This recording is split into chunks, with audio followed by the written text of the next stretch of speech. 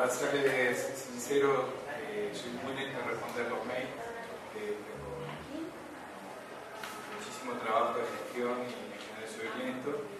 Eh, lo cual, pero bueno, si necesitan algo, alguna consulta, todo lo que tenga que ver con es- consultas bibliográficas o algunas necesidades vinculadas con el curso, les que, les pediré que medien a través de, de los organizadores y cualquier cosa que tengan, tengan mi mail por si, por si necesitan alguna información que, que sobrepase el, el ámbito de- del curso.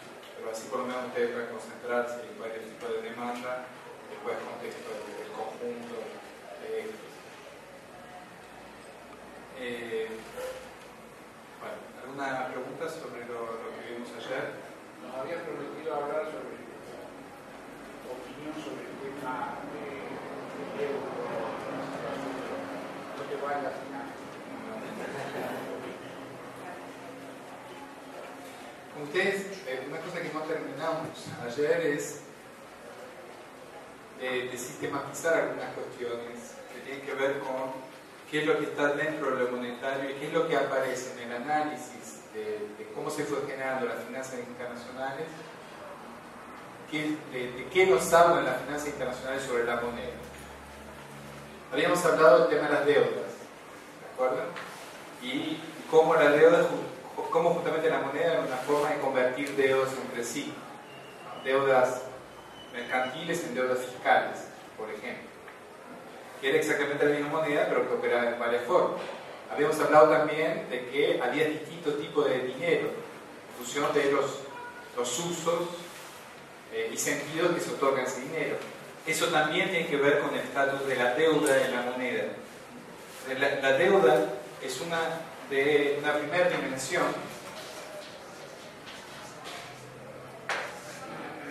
un primer eje que atraviesa cualquier forma monetaria. Una forma de saldar deudas.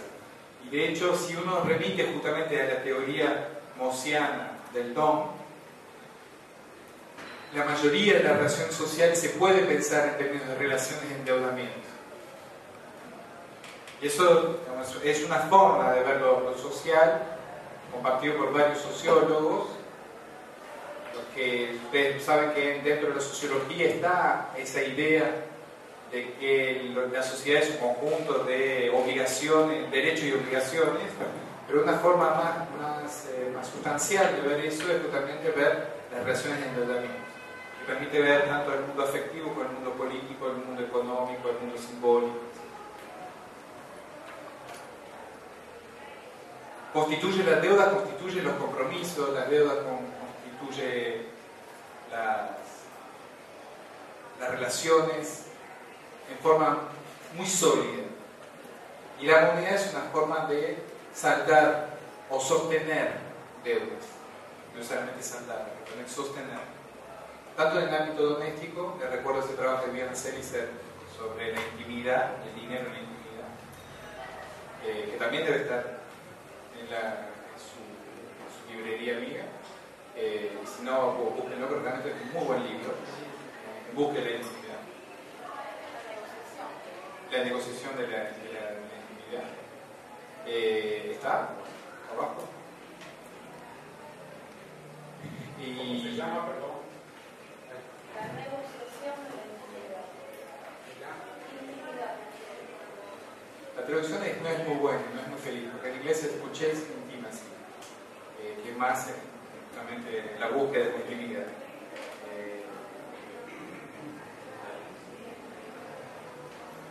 Esa es una primera dimensión. Otra dimensión que apareció ayer claramente y lo hemos hablado en torno a la cuestión de la finanza es la cuestión de la confianza.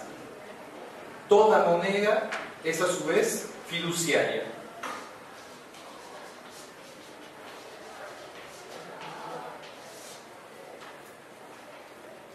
Entonces la segunda gran dimensión es la dimensión de la confianza.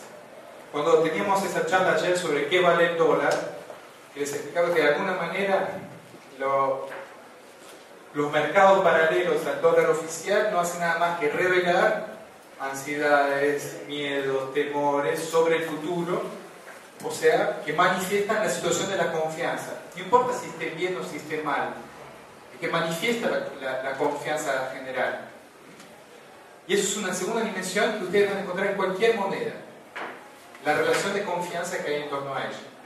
Por eso es muy importante la forma en la cual se organiza la producción de valor en las sociedades, porque si la producción de valor está más atado a los tiempos presentes, si los futuros se van acercando cada vez más al presente, la dimensión de la confianza en la moneda es cada vez menor.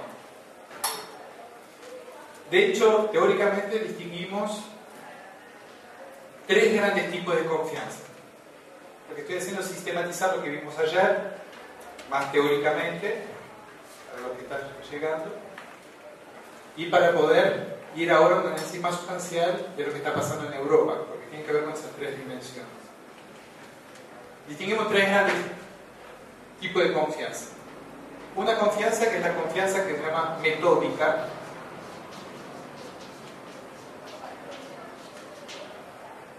que si quieren de alguna manera es la confianza por imitación. Yo acepto tal moneda porque el otro acepta tal moneda. El caso, ayer hablamos de las monedas paralelas, fue muy claro en el caso del Patacón, hubo un problema de aceptación del Patacón al inicio, en general, las monedas paralelas exitosas que hubo en Argentina, las monedas provinciales exitosas que hubo en Argentina, estaban asociadas a la posibilidad de, pagar un impuesto. Si ustedes comparan conjunto de monedas que existieron en Argentina, las que permitían pagar un impuesto empezaron a tener una circulación más rápida. ¿Por qué? Porque el comerciante que lo recibía sabía que con eso podía pagar por lo menos sus impuestos, por lo cual, de alguna manera, eh, entraba en un ciclo de circulación, porque sí, podía transformar la moneda horizontal en moneda vertical.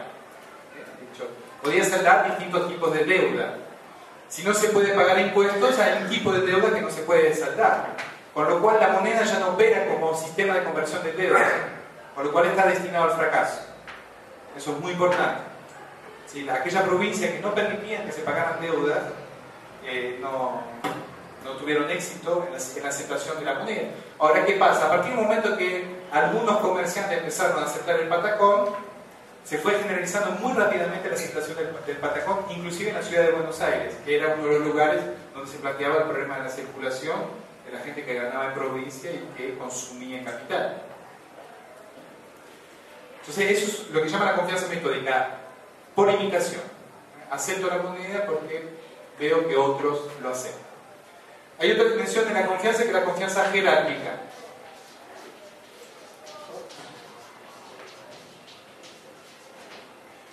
La confianza jerárquica tiene que ver con la institución, la autoridad que está atrás de la moneda. En general es, eh, en Estados Unidos, por ejemplo, es la figura del gobernador de la Reserva Federal. Es una figura central dentro de la economía norteamericana. Si hay confianza en tal persona, la palabra de tal persona tiene un peso enorme. De hecho, la palabra del banquero central en general tiene un peso enorme. Por eso hablan muy poco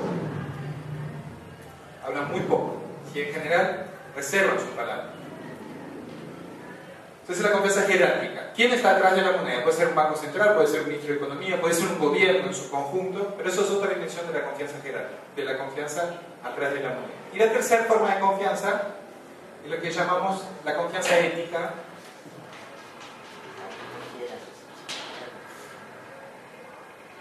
¿Qué es la confianza vinculada? La idea es una idea más difícil de transmitir, es la idea de que un sistema monetario corresponde al sistema de valor imperante en una sociedad particular. Esa es la, confianza más compleja, no me voy a extender sobre eso, pero tiene que ver en gran medida, por ejemplo, lo que hablamos ayer, si nuestra moneda corresponde o no a la agroexportación en un momento dado, entonces cómo esto conecta con algunos valores societales que hacen que eso produzca un gran nivel de aceptación casi en un registro inconsciente. Si cuanto más cuanto más ahondan en, esas formas de confianza, más profundo van en el inconsciente. Todos tienen más o menos un registro de cierta inconsciencia. La metódica hay cierta forma de racionalidad, ¿no? Bueno, como el otro acepta, yo acepto. Ya la jerárquica tiene que ver con las formas de representación de la autoridad, ya estamos entre conciencia e inconsciencia. Acá estamos en registro de la pura inconsciencia colectiva. Y por ende mucho más difícil de desnudar. Entonces esa es la segunda gran dimensión de la moneda, la confianza. No hay moneda que no esté atravesado por la dimensión fiduciaria. Y en Argentina lo vimos todos los días. Por eso cuando uno piensa en las monedas, tiene que pensar cuáles son los regímenes de confianza que se construyen en torno a la moneda. Tercer gran dimensión, que también apareció ayer y que es crucial para pensar la crisis europea, es la soberanía.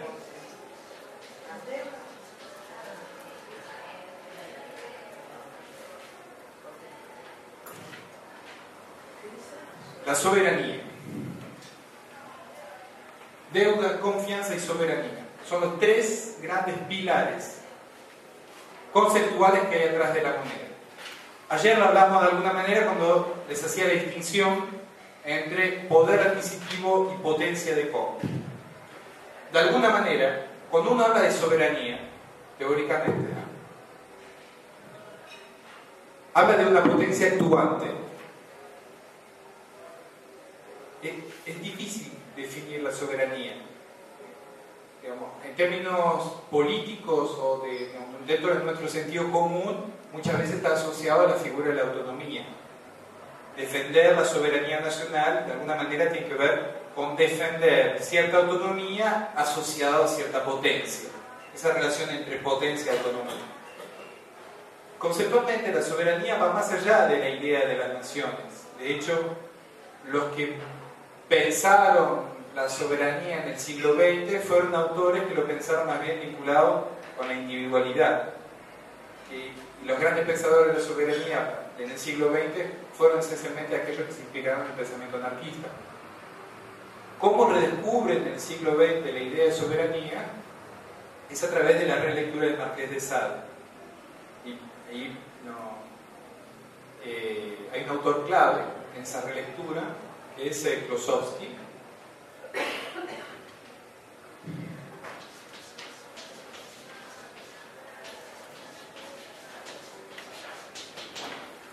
Pierre Klosowski, el hermano de Baltus, el pintor, es una familia complicada. Y él hace una relectura de Sade y escribe un libro fundamental que se llama Sade, mi prójimo, donde trata de tener una lectura teórica de Sade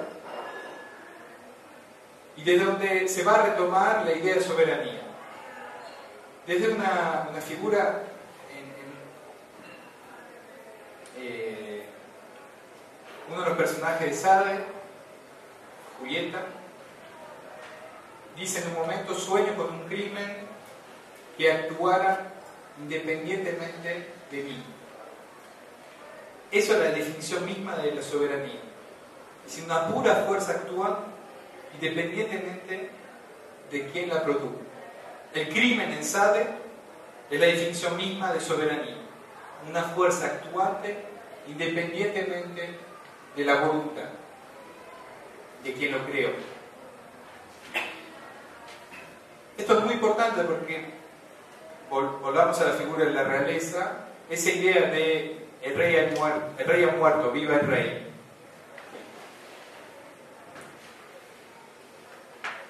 ¿Ya notaron mi mail?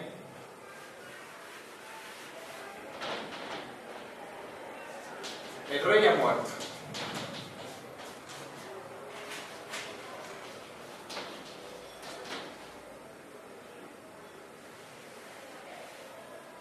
Viva el rey.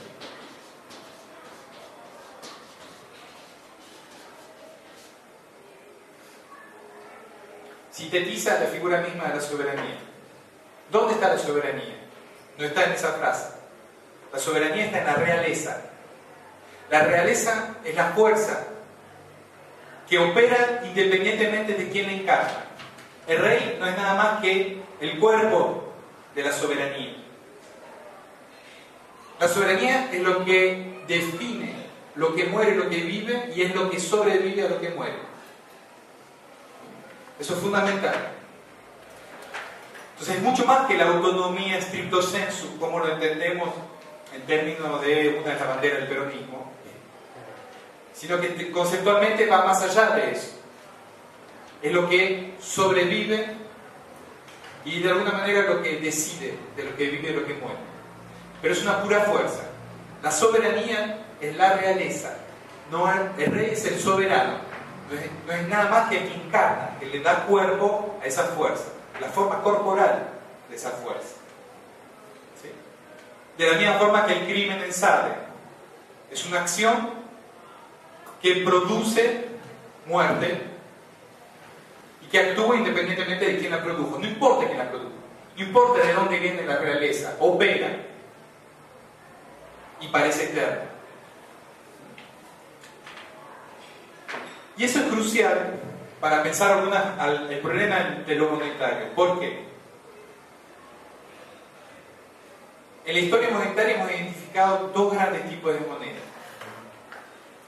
Algunas monedas que son expresión de la soberanía política. En general, es decir, son herramientas de gobiernos o de Estado. En esa figura Una crisis de un, gobierno implica una crisis monetaria. ¿Por qué? Porque el lugar de la confianza jerárquica es muy fuerte en ese tipo de moneda. Es justamente lo que está ocurriendo en Argentina en este momento. Puede llegar a haber una crisis de gobierno a través de la gestión monetaria que están teniendo. Y la gestión monetaria puede ser expresión de una crisis de gobierno. Es decir, ahí tenemos una clara figura de soberanía sobre la moneda. Es una soberanía sobre la moneda. La moneda es una de las dimensiones de la soberanía del Estado. Ahora, hay otro tipo de moneda que son monedas soberanas, ¿no? Sobre las cuales hay una soberanía, es decir, monedas soberanas que funcionan en sí mismas como un crimen. Fue el caso de la convertibilidad argentina, es el caso del euro. Y ahora le paso a explicar esas dos figuras para entender la crisis europea, para entenderla digamos, más allá de, la, de, los, de los aconteceres. Permíteme volver a la convertibilidad. ¿Cómo nace la convertibilidad? ¿Me siguen hasta ahora? Porque el problema de la soberanía es central. De hecho, dentro de la teoría de regulación, estamos, estamos en esa etapa, digamos, se trabajó mucho sobre la cuestión de la deuda, dio, lugar a, varios trabajos de Aguileta de Orleans que llama la violencia, el primer trabajo fue un trabajo que se llama La violencia de la moneda, un trabajo del 86, después se dio otro trabajo sobre la, moneda entre violencia y, soberanía, donde se trabaja sobre todo la cuestión de la deuda y se plantea el problema de la soberanía, pero se deja de lado porque es un tema complejo. Después, Orleán en particular, sobre el poder de la finanza, trabaja la cuestión de la confianza más a fondo y, establece ese tipo, esas formas de, de, confianza. Y en este momento estamos trabajando en la publicación de un libro sobre la cuestión de la soberanía en la moneda. Ahora en octubre vamos a presentar en Bariloche un, libro de Telet, que es una compilación de dos tomos, se llama La moneda desvelada por su crisis, que es todo un análisis histórico sobre grandes crisis monetarias y el lugar de la confianza en la crisis monetaria desde el inicio de la historia monetaria hasta esta parte en distintos lugares del mundo. Y ahora estamos pensando en la cuestión de la soberanía, la figura de la soberanía. ¿Cómo nace la, eso, para que entiendan que estamos, es, algo así de, frontera que estamos discutiendo. ¿Cómo nace la convertibilidad? Les voy a hacer un pequeño cuento rápido, casi anecdótico. Contrariamente a lo que se piensa, no fue Caballo el que inventó la convertibilidad, eh, sino que fue un primer proyecto elaborado por Horacio Liendo, un abogado hijo de Horacio Liendo, o sea, es Horacio Liendo hijo, eh, hijo de un ministro del Interior de dictadura,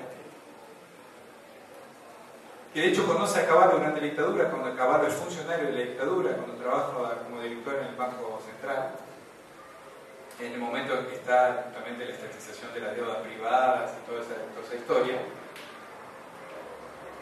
Horacio hace una tesis sobre la emergencia económica y trabaja sobre la caja de conversión de Pellegrini. Y se fascina por esa figura. Cuando Menem es candidato en 1989, arma varias plataformas políticas para definir una programática económica. Una de esas plataformas estaba liderada por Caballo, que junta alrededor de él, varios personajes, varios economistas. Les paso los detalles, pero varios economistas. Y algunos amigos de larga data, entre los cuales Horacio Nieto. Horacio Nieto lleva a esa mesa la propuesta de hacer una, una convertibilidad para erradicar la hiperinflación. Ese primer proyecto de convertibilidad no tiene nada que ver con el, con el, proyecto que finalmente se va a aprobar, pero de ahí surge la idea. Cuando Menem gana las elecciones, lo deja en banda a Caballo, que le había prometido el Ministerio de Economía, al fin y al cabo pone el grupo Pungibón al Ministerio de Economía y él terminó en el Ministerio de Asuntos Externos hasta que efectivamente no se logra controlar la inflación y a principios del 91 se llama Caballo de vuelta, se llama Caballo al Ministerio Económico. Los primeros tiempos Caballo tampoco decide aplicar la convertibilidad, trata de hacer varias medidas hasta que hay un nuevo pico, pico hiperinflacionario y llegamos a la noche del 17 de marzo de 1991. Es domingo eh, Caballo llama a Horacio Liendo y le dice, venite para casa, vamos a adoptar la convertibilidad. Todo esto es eh, una etnografía que hice sobre la, reconstrucción de esta noche. Y le pueden encontrar esa, narrativa más, detallada en, la página de Ligades, texto que se llama Discurso y Moneda, donde narro ese, ese encuentro. De Lidaes. www.lidaes.edu.ar y ahí buscan en, publicaciones, papeles de trabajo, si no en Google, ponen discurso y moneda, Roy, más fácil. Lo llama Nieto y dice, vente para casa, vamos a adoptar la convertibilidad. Se juntan en la casa de caballo Horacio Liendo, Juan José Yash, Juan José Yash, el padre el padre. Después era ministro de Educación, sociólogo de formación, o sea, un abogado, un sociólogo y un economista. Y en esa noche discuten la adopción de la convertibilidad. ¿Cuál era el planteo? Como les conté, ayer, el planteo era generar un shock de confianza y erradicar cualquier tipo de anticipación racional. ¿Qué hay que hacer para erradicar cualquier tipo de anticipación racional? Crear una moneda eterna. ¿Cómo se hace para crear una moneda eterna en la cabeza de ese grupo? Porque no, ninguna moneda es eterna. Pero ¿cómo piensa que van a crear una moneda interna? ¿Qué tomaron eso? Duró 10 años. Lo interesante, bueno, eso, eso no está en ese artículo, pero después estará en el libro que estoy terminando, porque me llevaría mucho tiempo desarrollarlo acá.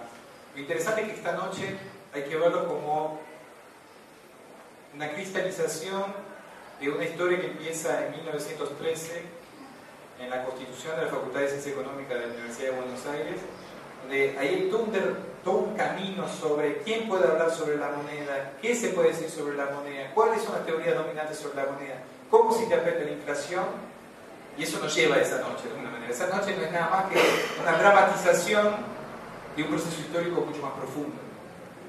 Y esas tres personas lo que hacen no es nada más que encarnar procesos simbólicos, políticos y económicos previos.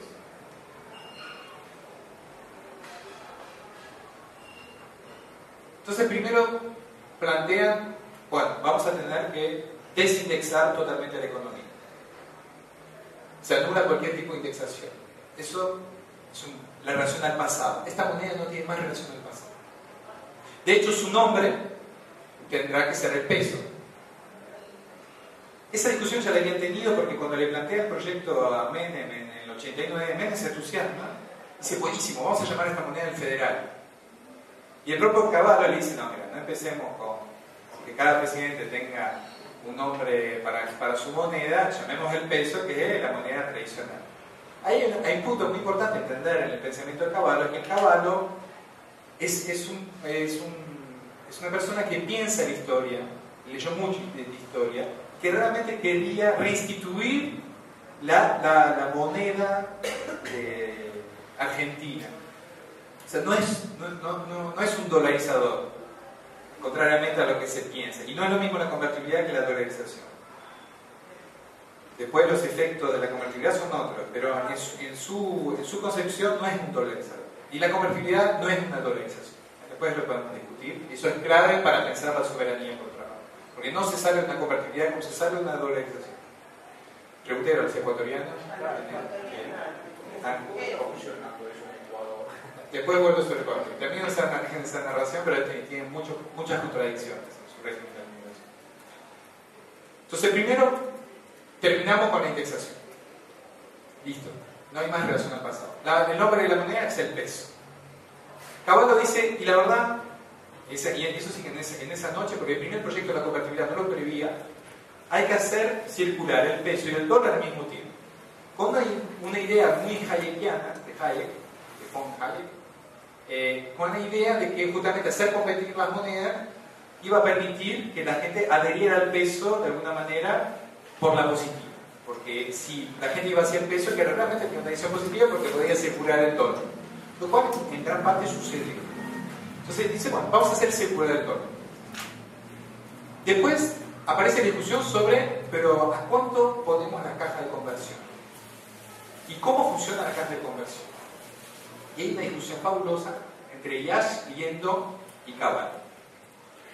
Viendo y Caballo que querían que fuera uno a uno. Y, y que quería que fuera 1 a 1,3. Lo cual es mucha diferencia, es un 30% de diferencia. ¿Por qué? Porque viendo decía, eh, Yash decía, no, si nosotros queremos reactivar la industria, decía Yash, que, era, que tenía otra perspectiva sobre la convertibilidad.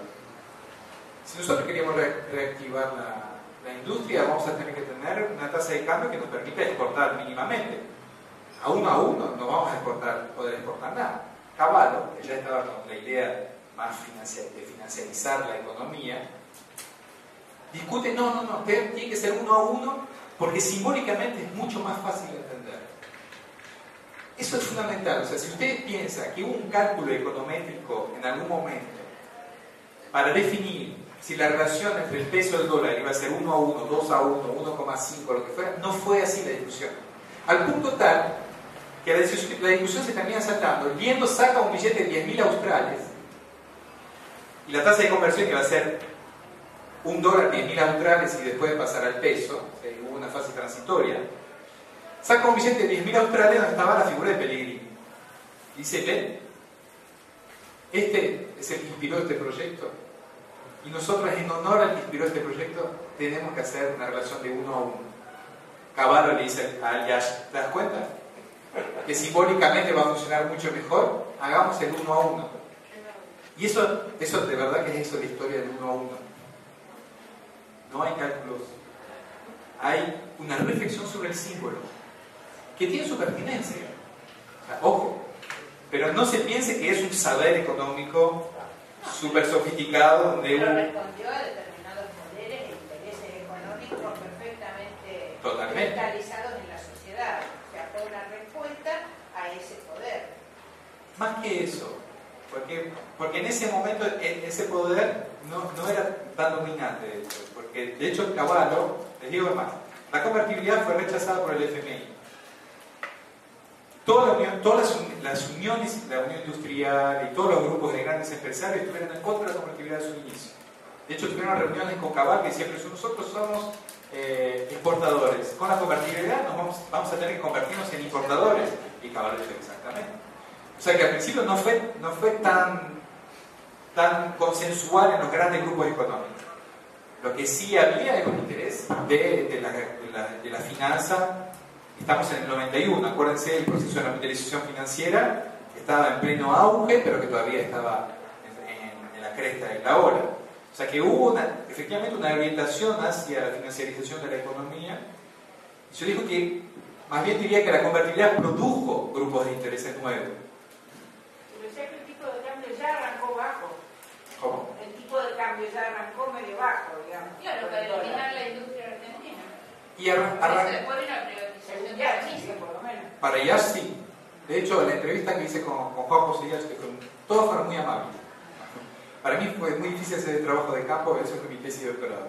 Para mí fue muy difícil hacer el trabajo de campo porque era en plena crisis, o sea, era, eso hice entrevistas en 2002, 2003, y la verdad cada vez que tengo una reunión con uno de ellos, una entrevista con uno de ellos, tenía ganas de estrangularlo porque para mí eran responsables de muertes. Y, y, generar muchas contradicciones para un investigador, porque vos tenés que hacer una entrevista y además en general hasta, hasta los asesinos más crueles eh, pueden llegar a ser buenas personas en el, en el trato cotidiano. Eh, yo cada vez que veo, salvando la distancia, ¿no? cada vez que veo la, veo, no sé si leyeron el libro de Punta Grass, después se hizo una película que se llama La Caída. Se hace una gran crítica de esa obra porque consideran que muestra a un Hitler demasiado humano. Eh, bueno, es, a mí yo cada vez que, veía eso me, enfrentaba a la, misma, tenía la misma sensación de estar frente al libro de Punta Grass, donde uno veía a alguien que consideraba realmente el demonio, que al fin y al cabo se presentaba como un ser normal. Eh, y eso para mí fue una, gran contradicción. El 1 a 1 resuelto de esa forma, resuelto desde un punto de vista de una discusión simbólica en esa instancia. ¿no? Faltaban dos temas esenciales. Uno que era la cuestión, que es la, cuestión más profunda, desde mi punto de vista, es, se decide esta noche adoptar el principio nominalista en el Código Civil. Que ahora lo quieren cambiar. ¿Por qué? Porque hasta, hasta ese momento de hecho, cuando Vélez Sarfield redacta el Código Civil, tiene grandes precauciones a adoptar el principio nominalista que se había adoptado en otros códigos civiles en el mundo. El principio nominalista consiste en considerar que lo que se intercambia a través de las relaciones contractuales son sumas. Vos intercambias suma por suma. Entonces, tal cosa vale X y pagás X. Y lo que se intercambia es X contra X. Pura suma de I de nominal, es un número, es nominal el intercambio.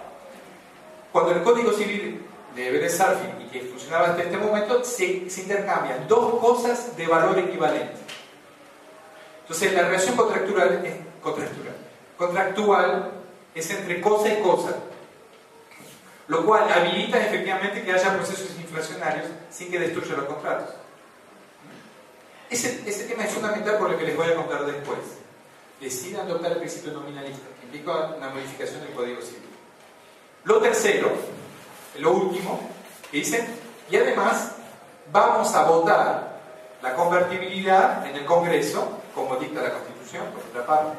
O sea, ahí se volvieron muy, muy constitucionalistas. ¿Por qué? Por una idea básica de la teoría económica, además, y ahí estamos otra vez en cómo el orden simbólico opera en procesos políticos y económicos. ¿Por qué? Porque la teoría económica dice que una devaluación de la moneda tiene sentido si es, eh, en ese momento de la teoría económica, si es sorpresiva, si es no anticipable. Si, si ustedes anuncian mañana que van a devaluar la moneda, entonces todo el mundo anticipa esa devaluación y lo proyecta sobre los precios. Entonces tiene que ser sorpresivo.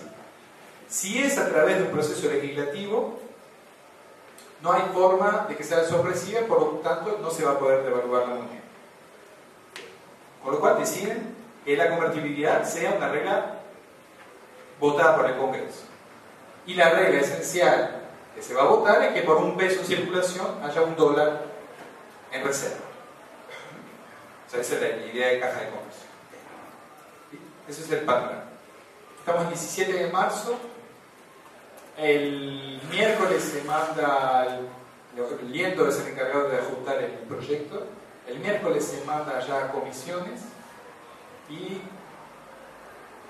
creo, no me acuerdo exactamente de las fechas, pero las discusiones se hacen en, tres días en el Congreso.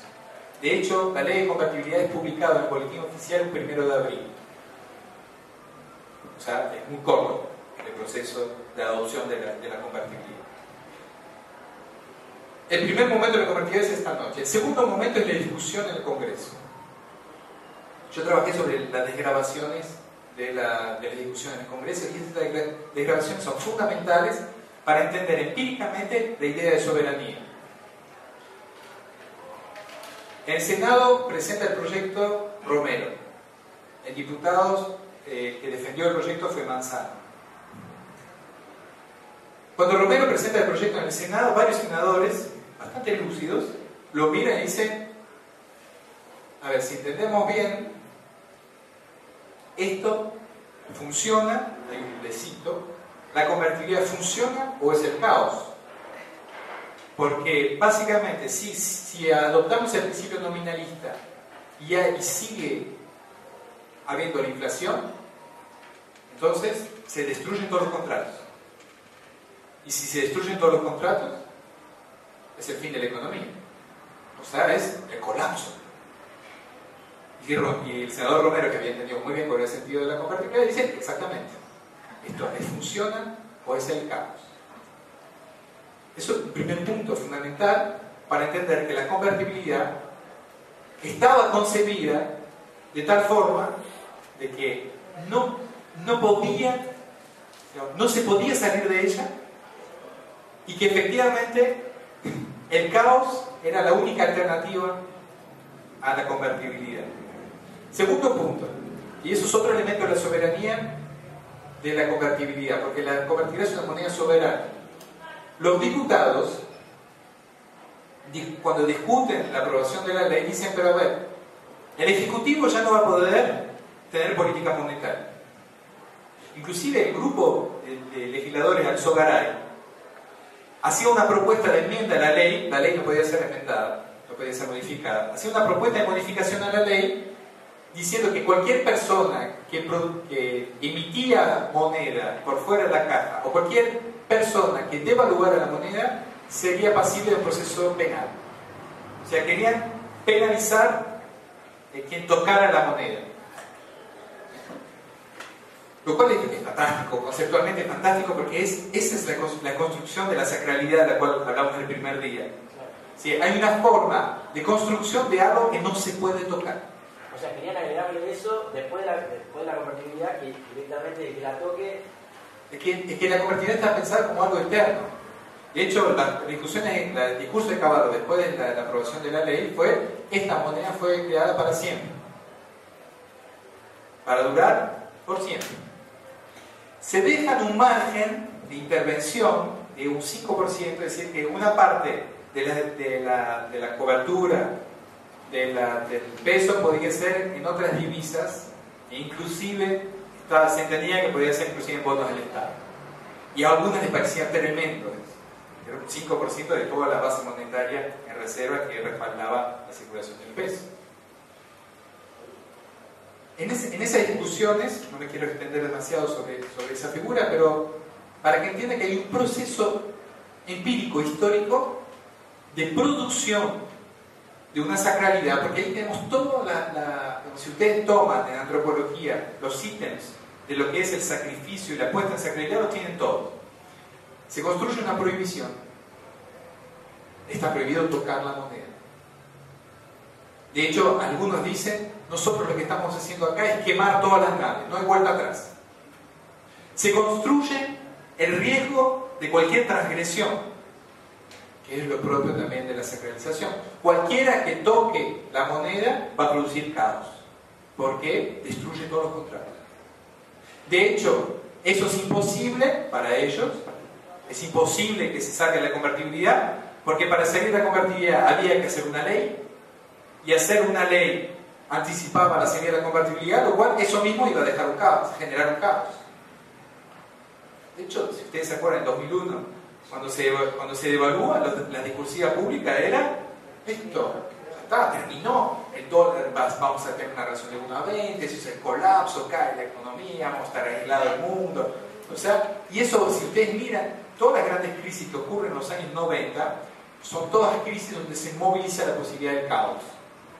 El efecto tequila en 95, el momento en que Caballo sale del Ministerio de Economía y es reemplaz- reemplazado por Roque Fernández, tampoco es que era como eh, un torquita llegando al Ministerio de Economía. Eh, todos los grandes momentos que hubo una crisis, siempre se trató de reforzar. Y cuando se quiso salir de la convertibilidad, cuando alguien pensó en el 2001 que había que salir de la convertibilidad, el propio Caballo pensó que había que salir de la convertibilidad, no sé si se acuerdan, lo llaman a Caballo, el padre de la bestia, decían algunas, para que pudiera matar esa bestia, y esa bestia no se podía matar. ¿Por qué? Porque ya era soberana, porque actuaba independientemente de quién lo había creado, que era él mismo. O sea, es el crimen de Julieta. Mataba independientemente de quién lo había creado, y está, lo podía matar a él mismo.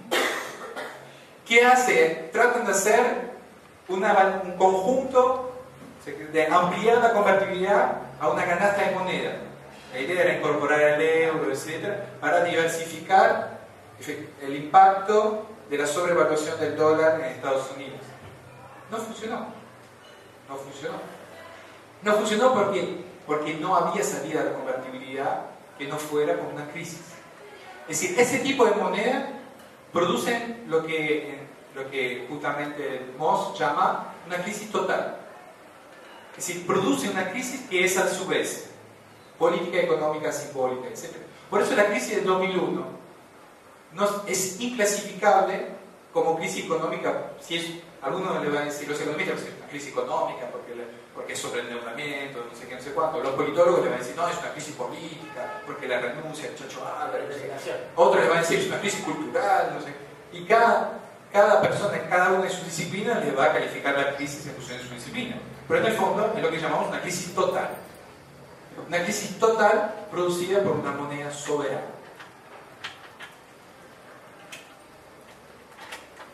El euro. ¿Cómo funciona el euro? No es igual, pero no es lo mismo, pero es igual, como dice Silvio Rodríguez. Claro, los griegos la, la- la están padeciendo. Bueno, ¿cómo es que es el, el euro? El euro es una convertibilidad de avalios con el marco alemán. Es decir, la gran diferencia con la convertibilidad argentina, que la convertibilidad argentina busca su legitimidad y la confianza, busca la, la- fuente de confianza, es una moneda halógena al espacio. En el ca- caso del euro, la fuente de la confianza es una moneda indígena, propia. Con lo cual, ¿qué se hace? En un momento dado, se mira la tasa de cambio de las distintas monedas europeas con el marco alemán y a partir de ahí se estabilizan los precios, se fija la relación y el euro subsume esas diferentes, diferentes relaciones de cambio entre esas distintas monedas. ¿Sí? O sea que desde el vamos, el euro está constituido según el predominio del marco alemán. Es un primer punto fundamental. El euro se constituye con un, y ahí hay que, no hay un proceso legislativo como en Argentina, que, cons- que construye entonces la imposibilidad de salir del euro, pero sí un proceso histórico que construye esa imposibilidad. De hecho, lo, que, trabajé sobre la convertibilidad terminé llamando la moneda imposible, porque es esa figura de una moneda que construye la imposibilidad y a su vez es una moneda que lógicamente es imposible sostenerla en su eternidad. Una moneda que se plantea eterna es una moneda imposible. Ahora, en el caso, en el caso europeo, ustedes tienen que pensar cuál fue la historia de la construcción europea para entender bien cuál es la fuerza del euro en este momento. ¿Cómo nace la, la Unión Europea? La Unión Europea nace para evitar una tercera guerra mundial. Ese era el objetivo. O sea, nace asumiendo la conflictividad franco-prusiana más que franco-alemana. ¿Y cómo se estabiliza la conflictividad histórica franco-prusiana generando dependencias mutuas? Con esa idea de que, que la dependencia mutua hace que la guerra sea imposible. Eso es el proyecto europeo, el que encontrarán, digamos, en los grandes pensadores de Europa. Empieza por la comunidad de carbón y del acero, eso fue el primer ejercicio, después se va ampliando. La ampliación, lógica, esa lógica de ampliación que hay, que está en los europeos, tiene que ver con que de alguna manera terminar con el euro es la posibilidad de reavivar los nacionalismos y es reabrir la posibilidad de la guerra. O sea, atrás del euro está la figura de la posibilidad de la guerra si se rompe. Lo cual no es, ven las homologías ahí sí entre la figura del caos en Argentina, la figura de la guerra subyacente al proceso europeo. Porque si no, es, tan irracional sostener el euro bajo su forma como era, parece irracional, tomando la distancia, sostener la convertibilidad en su momento.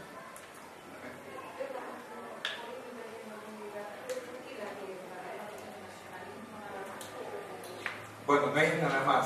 O sea, toda la historia, la historia del nacionalismo en Europa es muy fuerte y, ahí, a, la, a la distancia,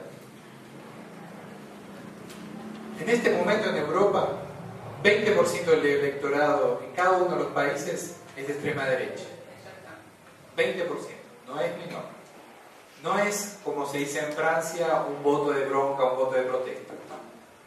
Es una manifestación, más allá de cuántos de ellos son absolutamente antisemitas, absolutamente xenófobos, todos ellos son absolutamente nacionalistas. Nacionalistas en su, peor expresión. O sea, potencialmente xenófobos seguro. Un nivel que, o sea, el, antisemitismo en, en, Europa cobra, cobró dimensiones no vistas en otros lugares y todavía es agenda cotidiana. Hay crímenes antisemitas regularmente en Europa. Hay saqueos, no hacen noticia tanto, pero hay saqueos de cementerios judíos permanentemente. Está dentro del sentido común algún desprecio hacia los judíos en algunas clases dirigentes. Yo me formé en una escuela, le tomo un caso, en Francia hay una cosa que se llama Instituto de Estudios Políticos. Yo me formé ahí, supuestamente es donde se forma la, la, élite administrativa del Estado, que después va a la Escuela Nacional de Administración y ocupan lugares en el gobierno. Gran, gran parte, cuando yo, yo venía de una trayectoria política, había hecho mi bachillerato en Uruguay, eh, venía de una trayectoria anarquista, llego al Instituto de Estudios Políticos, lo primero que me preguntan la primera semana es si yo era monárquico. Monárquico, en Francia. Yo, la verdad, no entendía, no entendía nada. El 21 de enero, todos mis compañeros iban a misa. Para mí el 21 de enero era la muerte de Lenin. Y, yo decía, ¿qué van a misa? Decía, no, era por la muerte de Luis XVI. O sea, la mayoría de mis compañeros en este momento son eh, asesores de, algún ministro eh, o están en un cargo alto del Estado. Conozco su formación ideológica. En ese instituto se leía la Acción Francesa. La Acción Francesa fue un diario monárquico fundado en los años 30 por un gran escritor de extrema derecha, antisemita. Y ese diario se leía, ahí, o sea, circulaba y se leía. Eh. No, Barres, no. Eh, he tratado porque me, me metí, tuve un momento obsesivo en que me metí en esos, autores para, entender su, su, lógica. Eran grandes escritores. En algún momento se llegó a decir el corazón estaba a la izquierda y la pluma a la, derecha. Porque efectivamente ustedes pueden leer grandes textos de principios del siglo XX, yo sé, Céline, eh, Barrés, eh,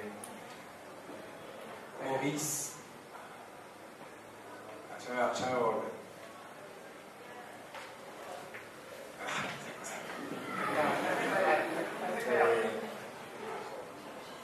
que eran, o sea, sigue habiendo, sigue habiendo reuniones de, la acción. Francesa, muchos nobles, o sea, si ustedes, Tocqueville tenían toda la razón, la nobleza sobrevivió a la Revolución Francesa, Robespierre no terminó el trabajo, y ahí, y realmente, por ejemplo, todos los ministerios de asuntos externos franceses está copado por, por la nobleza, y nobleza es nobleza. O sea, no se entra a algunos círculos si ustedes no son nobles, en la cosa se llama los halí, que son eh, fiestitas de nobles, donde se reproduce la élite política francesa. Y eso ocurre, de Francia les puedo hablar mil horas, porque estuve, me formé ahí sé cómo funciona. Realmente es espantoso. Eh, y eso sé que ocurre en casi todos los países europeos. El anclaje en la ideología de las clases dominantes, del nacionalismo. Si ustedes miren, miren la legitimación, escuchen, miren, observen de cerca cualquier campaña política de cualquier país europeo y, miren cuál es la discusión sobre la inmigración y les va a asustar, les va a dar escalofrío. O sea, hasta el más derechista argentino está al centro izquierda de ese discurso. Realmente. Hay campos, en Francia hay campos de concentración de, de inmigrantes. Es una cuestión que no, es un.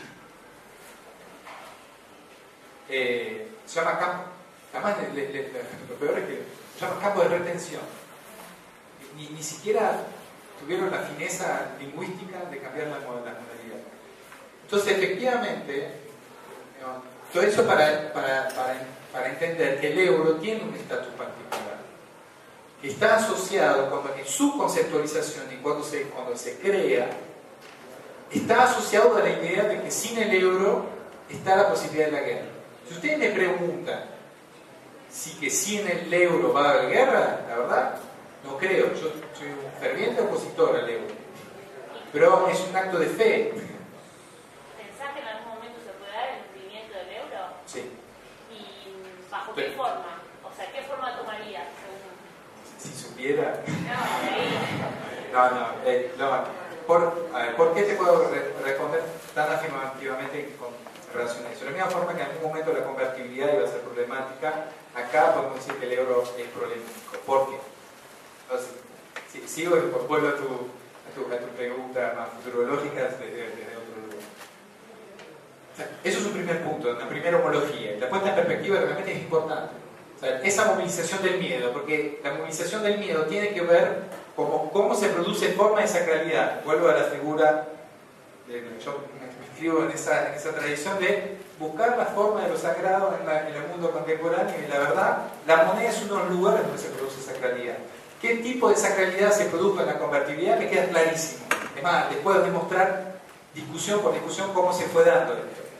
¿Cómo se produjo en el euro? a través de la movilización de la idea de que sin el euro no hay Europa. Si no hay Europa, está la posibilidad de reavivar los nacionalismos. Y es una amenaza que efectivamente se actualiza cada vez que la extrema derecha gana un 20%. Que por otra parte, en general, es la extrema derecha que moviliza masivamente el discurso anti-euro. Entonces, y eso no es menor, esa correlación. Porque, de hecho, yo que soy anti-euro, me, es muy difícil plantearlo y nosotros somos un, grupo, un grupúsculo de, de intelectuales de izquierda que planteamos una oposición al euro por su vinculación con la financiarización, etcétera, etcétera. Algunos, de hecho, en el proceso de negociación, estamos pensando formas pluri, plurimonetarias, es decir, la existencia del euro y a su vez la existencia de monedas nacionales, por ejemplo, en el caso de Grecia. ¿Cuál la salida la salida de Grecia no era, necesariamente la salida del euro, era la flexibilización del euro para que haya monedas nacionales. ¿Cuál es el problema? Es que ahí la centralidad de Alemania proceso del euro se pierde. Y ahí, permítame una hipótesis absolutamente delirante, eh, ahí sí que es pura especulación intelectual, o sea, no le dé más estatus que eso. Pero yo estoy convencido que el euro es el gran, y, y no olvídense que soy francés, porque no me dicen, ah, es francés y la vieja pugna franco-alemana se reactualiza bajo esta forma, pero estoy convencido que el euro es un gran proceso de reconstitución del poderío alemán. Y un dato fundamental, que hace tres años, por primera vez, Alemania mandó eh, un ejército por fuera de sus fronteras a Afganistán. La primera intervención alemana, que lo tiene prohibido. Esa prohibición no fue modificada en los tratados internacionales, simplemente se olvidó. Y, y es la primera intervención militar afuera. Yo como creo en la historia de largo plazo y en las fuertes tendencias, para mí la lógica prusiana siempre es una, una lógica expansiva. Eh, pero bueno, hasta ahí, llego con, eso, porque si no puede terminar eh, preso o tildado de antigermánico lo que fuera. Pero me parece que realmente ahí hay, un- punto para pensar eh, que tiene que ver cómo se asocia el euro con la reconstitución del, poderío alemán. Si ustedes miran la, discursiva del canciller alemán, de la canciller alemán, sobre Italia, Grecia y España, y lo comparan, o sea, hagan un ejercicio, lo comparan con la discursiva de los años 30 sobre los mundos latinos en Europa, es exactamente el mismo. Son perezosos, son vagos, es lo mismo. Es exactamente lo mismo. No hemos avanzado ni un poquito en 80 años de historia una, una guerra mundial en medio.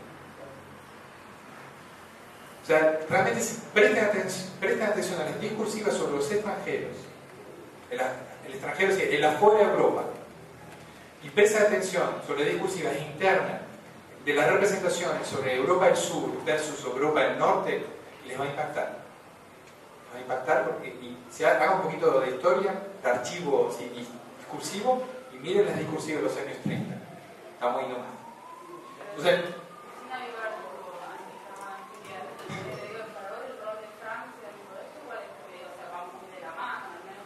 Ahí lo que me salva de ser antigermano, de ser francés, parece que Francia efectivamente no juega absolutamente nada en eso.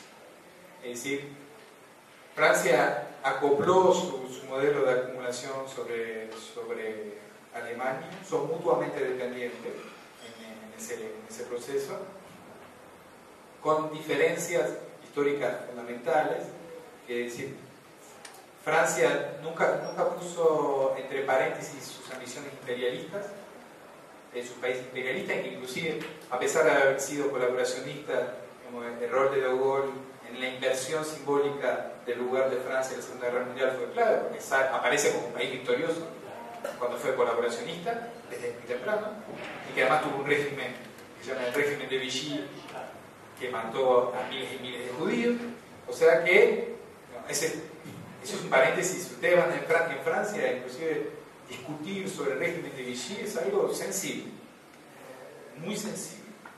Eh, y el lugar de Petain, los colaboracionistas, y efectivamente había resistencia, pero sobre todo hubo mucha resistencia de última hora.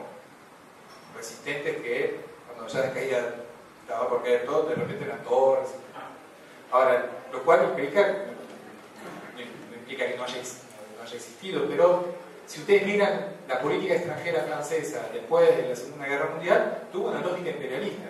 Sus intervenciones en África fueron claramente intervenciones de corte imperialista. Alemania tuvo cortado ese proceso. No tuvo intervenciones de tipo imperialista.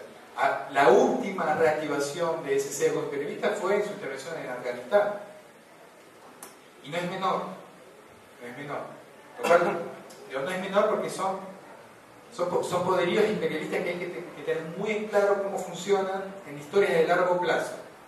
Y, ahí hay cosas para mí, ahí yo me pongo muy historiador de la escuela de los anales, o sea, me, gusta ver por lo menos tendencia de 500 o 600 años. Y 50 años no, no alcanza para revertir. ¿Qué fue la Declaración Universal de Derechos Humanos de 1948? Esa declaración fue un- una especie de, chapa de plomo sobre lo que se podía hacer y lo que no se podía hacer en el mundo occidental, por lo menos. Esto ya está fisuradísimo. Fisuradísimo, lo miren por donde miren, desde la teoría de, de la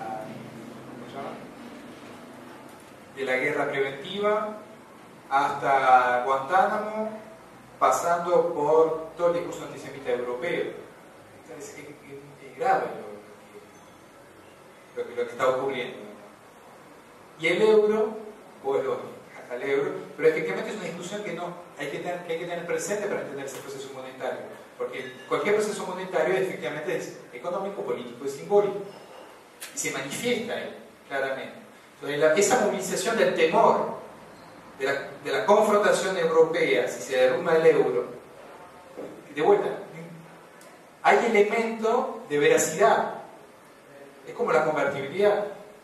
De alguna manera había elementos que hacían pensar que efectivamente si terminaba la convertibilidad podía ser un caos.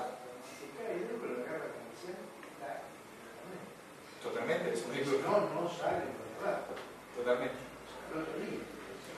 O sea que eso es un, es un punto, es un punto donde hay que tener mucha, ver en forma muy, muy, muy sensible esto, ¿no? Esa, esa tensión entre factores que hacen posible o que presentan, lo- lo- Foucault llama eso la- la- la- los procesos de veredicción. Proceso de veredicción. Hay algunas cosas que parecen decir la verdad sobre. Entonces, cuando efectivamente tenés una extrema derecha al 20%, vos decís, "Ven, que hay una amenaza nacionalista en Europa, y que esa amenaza nacionalista es justamente la que reivindica el fin del euro, que por ende hay que defender el euro, porque si no, eh, va a haber un, un- resurgimiento de los nacionalismos. No sé, la verdad, no, es- no es que, no hay mecanicismo en eso, no es que si a la nadie puede saber lo que va a pasar. ¿Se, se enti- se entiende eso? Pero el temor está instalado y la representación de ese temor está muy presente en la sociedad europea, mucho más de, de lo, que, de lo que se capta de por afuera de Europa. Es, es muy fuerte en ese sostenimiento y, apa- y contribuye a esa forma sacralizada de la moneda, donde de alguna manera dice que nadie se atreva a tocar el euro. Salir del euro pareciera como una cosa, no, no es un problema solamente económico, es algo que puede reactivar, que reactiva fantasmas. La gran perjudicada sería Alemania, según países que son de ellos. Alemania sí puede estar perjudicada temporalmente. Grecia podría salir del, del euro, imagino, sin que eso afecte profundamente la, economía alemana. Pero gran deuda. Tiene deuda, sí, pero hay que ver cómo, no sé cómo se compone esa deuda sobre el conjunto de, de- de su- de sus activos. Eso habría que evaluar. Yo creo que ellos lo deben tener. Pero por la forma en la cual apretaron a Grecia y, y evaluaron la posibilidad de, de de no es lo mismo que, Grecia saliera. eh, piense que hoy veía en un bar las imágenes de Atenas 2008. O sea, eh, para ver, eh, para tomar conciencia de la velocidad de esos procesos es, es fuertísimo. Miren la, ceremonia inaugural de Atenas 2008 y es un derroche, una cosa, una potencia manifestada, o sea, es volver a la Atenas del siglo III y cuatro años, tres, tres años Sí. Sí, una deuda enorme y además no estuvo asociado, esas inversiones no estuvieron, eh, no fueron transformadas productivamente. Pero es muy loco, digamos. Da, da cuenta de una escala temporal. Una pregunta. ¿Qué valor le adjudicas a la posibilidad que se habló de que Irak eh, empezara a en base al euro y no en base al dólar? Mira, puede, puede modificar, digamos, puede modificar los volúmenes de circulación No, en su momento Saddam Hussein, ¿eh? ¿no? Pero hagamos el ejercicio. Digamos, lo que está planteando, hagamos un ejercicio. Imagínense que parte del dólar no sea petrodólar, sea eurodólar. Exactamente. Eh, igual, eh, ese ejercicio, estamos, hoy están motivados por la, la, ficcionalidad. Eh, pero si hacemos el ejercicio, de todos modos le diría, en función, de, en función por lo menos de la teoría que estoy tratando de defender, no cambiaría mucho. ¿En qué sentido? Aumentaría el volumen de los euros circulando. Ahora, ¿sobre qué se funda la confianza en el euro? Ahí, ahí le, le- le- le vuelvo una pregunta mayor. A nivel mundial, ¿cuántos de ustedes tienen euros? No respondo. Pero, sí, estoy convencido que muy pocos de ustedes, en algún momento lo habrán pensado, che, ¿será que hay que comprar euros? Eh, se le cruzó por la cabeza. Y después, bueno, volvieron al dólar. ¿Por qué? Porque efectivamente el dólar es la moneda del hegemón. Es lo que hablamos ayer sobre la, la figura de riqueza. ¿Por, por qué el dólar aparece como el signo mismo de la riqueza? Porque está asociado a un poderío militar. ¿Por qué les decía el primer día que el, el fracaso chino de lanzar un misil de larga distancia es un dato monetario? ¿Se acuerdan que en 2008 los chinos en algún momento dicen, ¿y por qué además del dólar, ya que ustedes están en crisis en el piso, ¿va? los chinos le patearon a, a los yanquis que están en el piso y dijeron, ¿por qué además del dólar no hacemos circular eh, la moneda china, por ejemplo? Que efectivamente el, com- el comercio con China es un volumen enorme a nivel mundial, que sería equiparable al hecho de, de hacer euro dólar, euro, petro euro. Eh, y los, los norteamericanos dijeron, primero dijeron ni en. Eh, y por otro lado, ¿por qué le dicen ni en pedo? Porque de alguna manera el poderío militar norteamericano sigue siendo el superior. Que eso, yo ahí soy muy clásico, ahí me vuelvo clasiquísimo. En los factores de potencia, el poderío militar es esencial. Y no hay moneda que domine si no esté asociada a un poderío militar. Y eso en la historia monetaria es fuertísimo. O sea, nu- nunca en la historia de la, en la, historia de la humanidad hubo una moneda dominante, no fuerte, porque puede haber monedas fuertes, es otra cosa.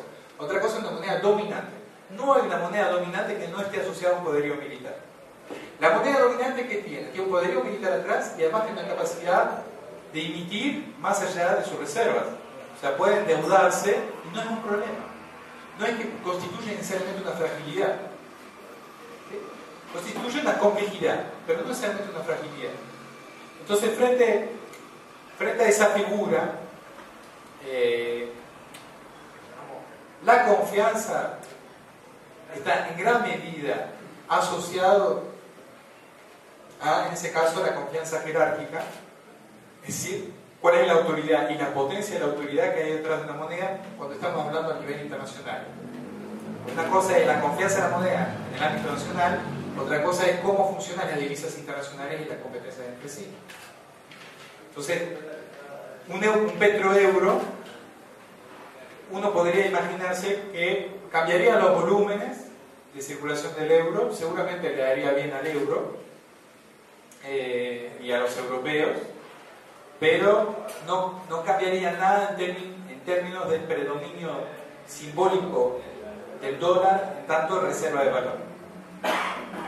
Que, que eso, el punto es cómo se define cuál es el signo de la riqueza. ¿Qué ocurrió cuando hubo la crisis en Estados Unidos? Aumentó el, oro- decir, la única reserva de valor que sustituye a la moneda dominante en caso de crisis es el, el oro. Y eso también es un clásico de la historia. Y aumenta. La verdad que... eh, entonces, eso es, muy importante para, para entender justamente esa ecuación. Por lo cual, el euro es una convertibilidad a varios con una moneda interna que implica un nivel de disciplinamiento hacia adentro, que está asociado a un temor, que es el temor de la, o una movilización de fantasmas, que es el temor de la guerra. In, in- infine, es el temor de la guerra. Que por otro lado, desde un punto de vista productivo, es igual de desastroso que la competitividad argentina. Digamos, el, el costo, la, imposibilidad de hacer política monetaria hace que los costos de los productos europeos en el mercado internacional son altísimos. En todo caso, por suerte, la gran mayoría de su comercio es un comercio intrazona. Pero si quieren ir a pelear mer- mercados externos, están fritos. Yo, a ver, si quieren profundizar en esa discusión, les puedo dar un marco de análisis institucional eh, sobre cuáles son las, contra- las contradicciones de un régimen de acumulación como, como un régimen de acumulación tirado por las finanzas y el euro. Eso es una posibilidad. Si hago esto, no tendremos tiempo de ver el tema más, más doméstico, ¿no? del ahorro y la moneda en la cárcel. Eh, y- elijan su propia aventura. Eh,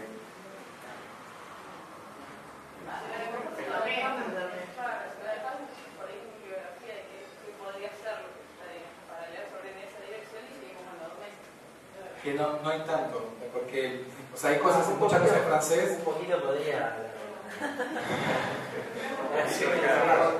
un poquito, un poco de... Eh, yo lo que les propongo es hacer una pausa corta, eh, acortar la pausa, sacrificar. Sí, sí, cinco minutos de pausa. y- Claro, hacemos, hacemos cinco minutos de pausa, volvemos y, y, digamos, analizando la competitividad argentina va a tener un modelo para entender las contradicciones del euro. Porque es muy importante entender cuál es el estatus de una política monetaria en un proceso de acumulación. Y por qué, por ejemplo, en, en configuraciones institucionales como las del euro, la convertibilidad, va, tienen desempleo estructural. ¿Y cuál es la correlación entre el ajuste por el trabajo y financiarización? Y eso es bien interesante entender cómo ese tipo de moneda produce efectivamente desempleo. Eso lo vemos después de las 5 minutos de pausa.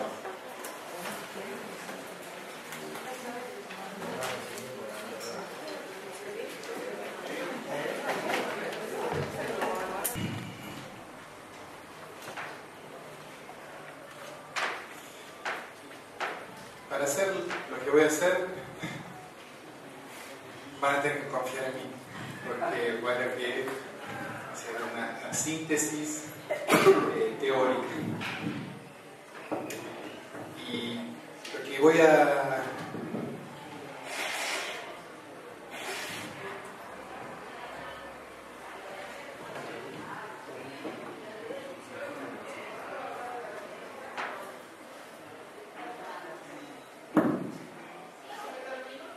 ¿Se acuerdan cuando,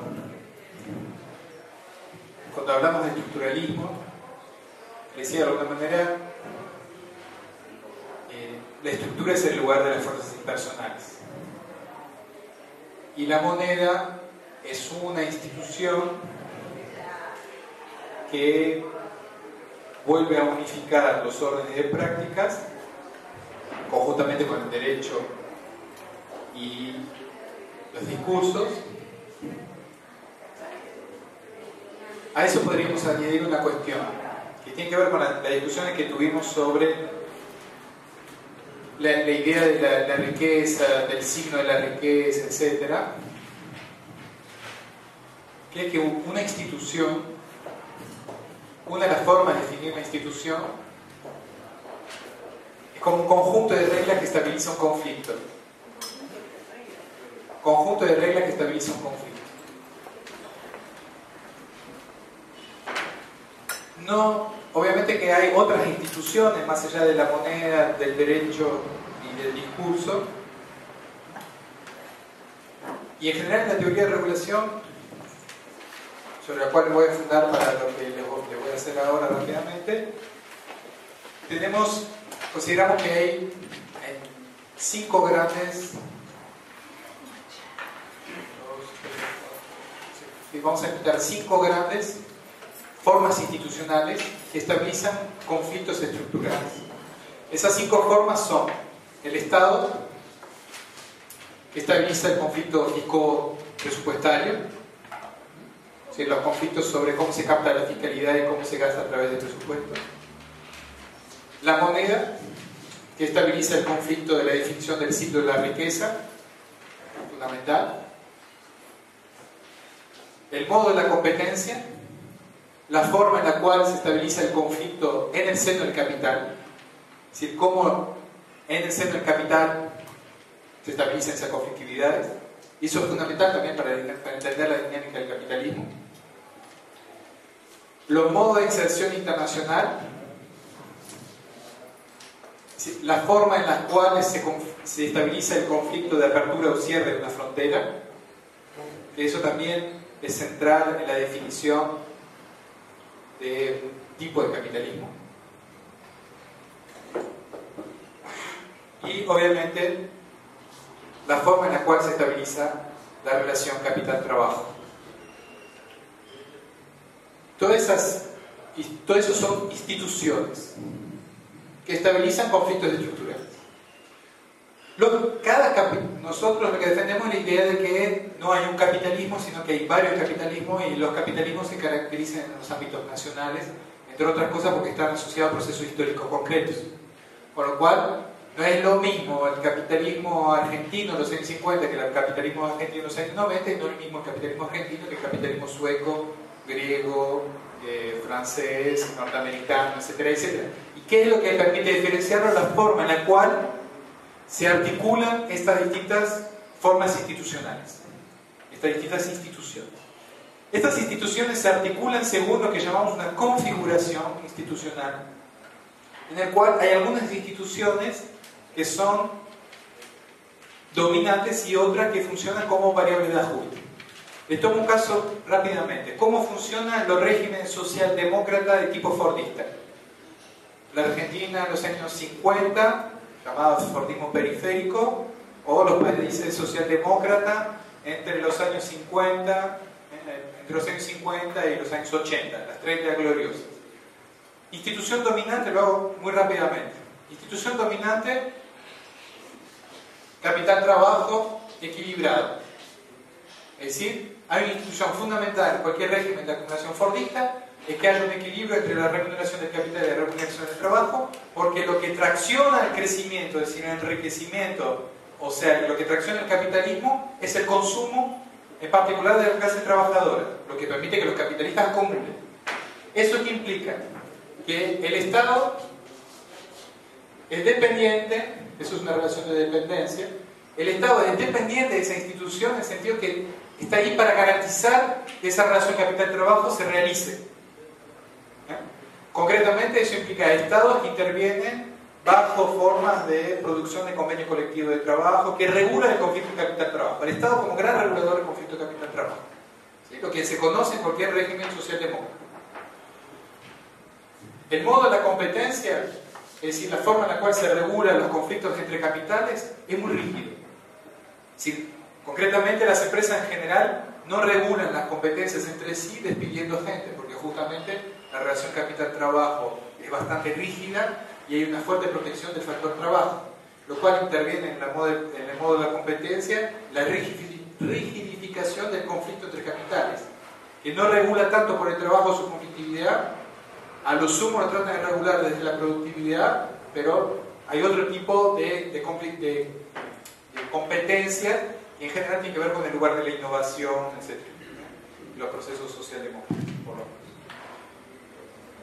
Y hay dos variables de ajuste, que son la moneda y el modo de inserción internacional.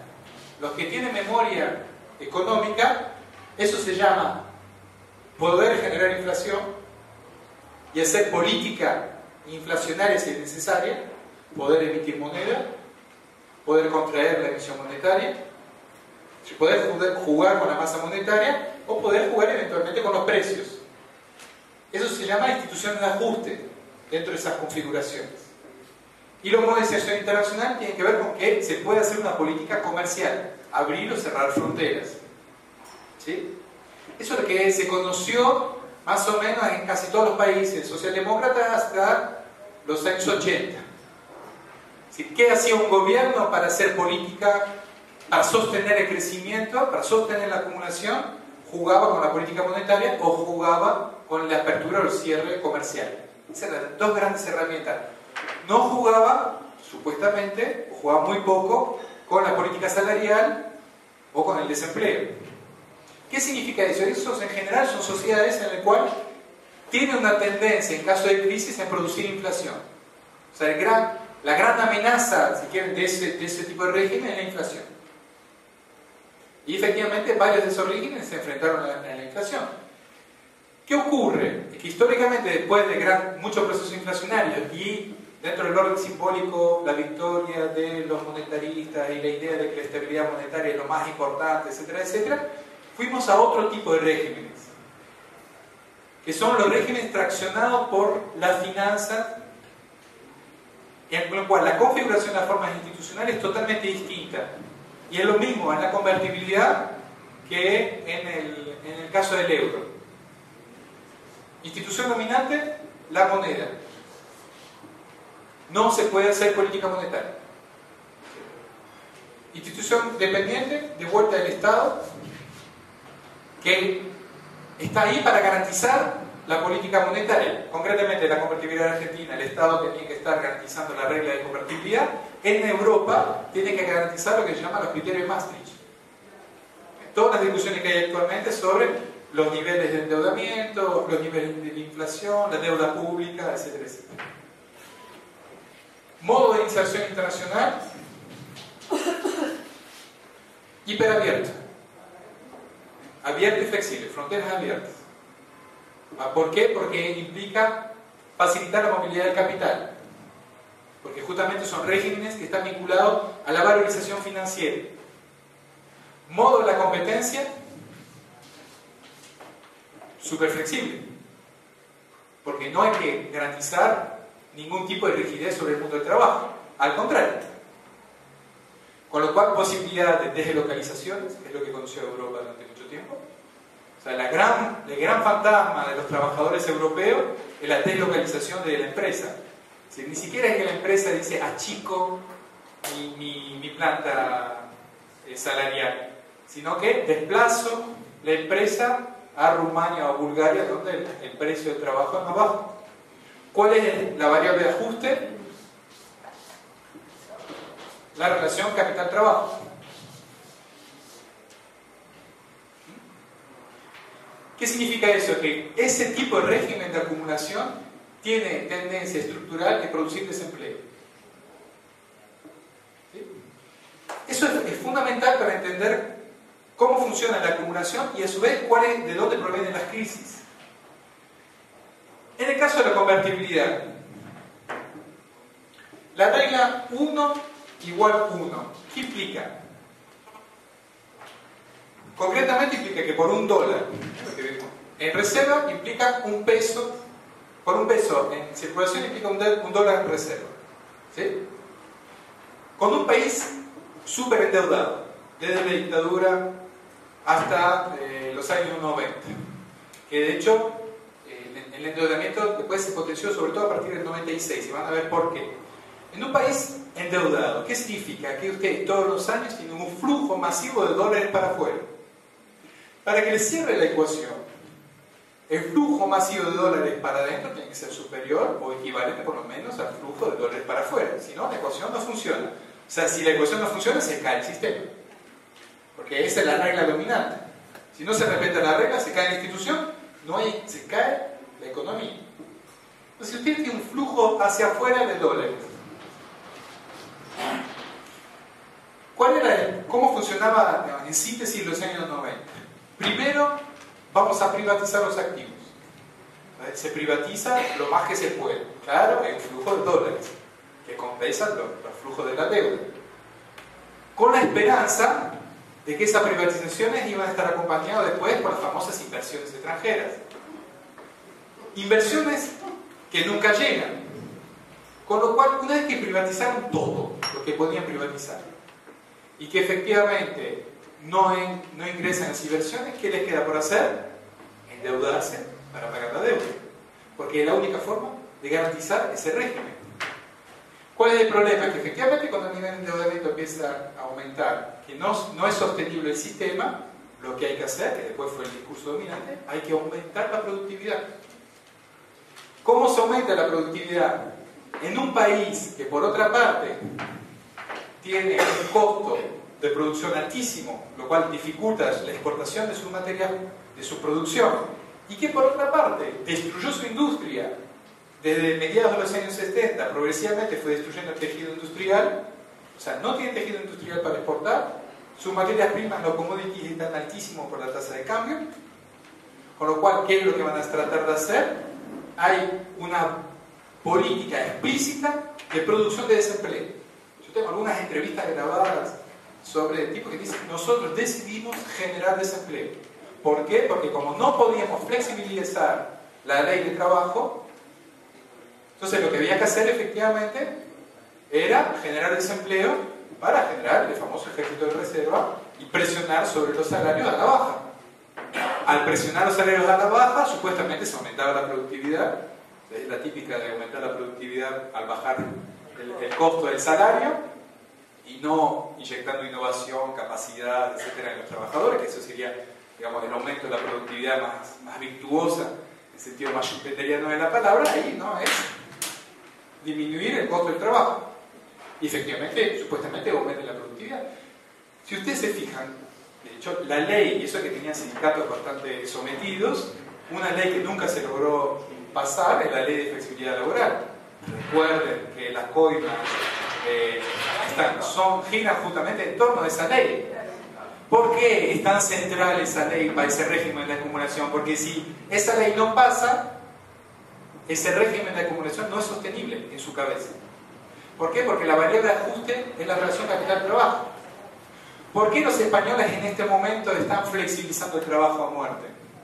Porque si ustedes tienen un régimen monetario tan rígido, la única variable de ajuste en contexto de crisis es el trabajo.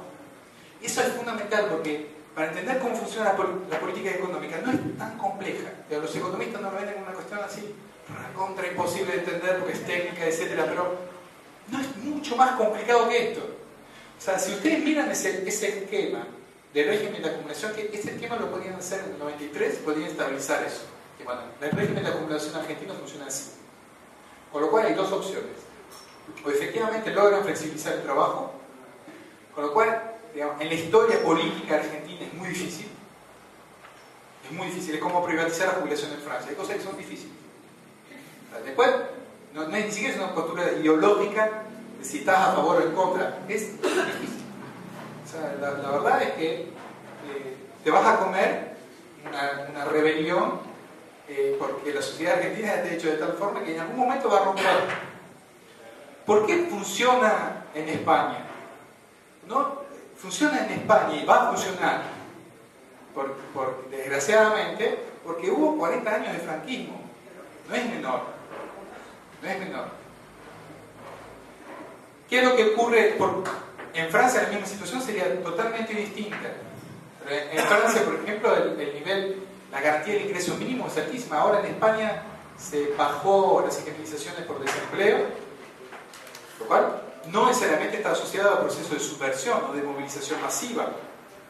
Hoy vi en la noticia que unos bomberos españoles se desnudaron, son simpaticísimos, pero la verdad en relación a la organización que hubo en Argentina desde el movimiento piquetero que ya se empezó a organizar en 1995. O sea, ¿no? empieza temprano la movilización de la clase trabajadora vinculada al mundo del desempleo.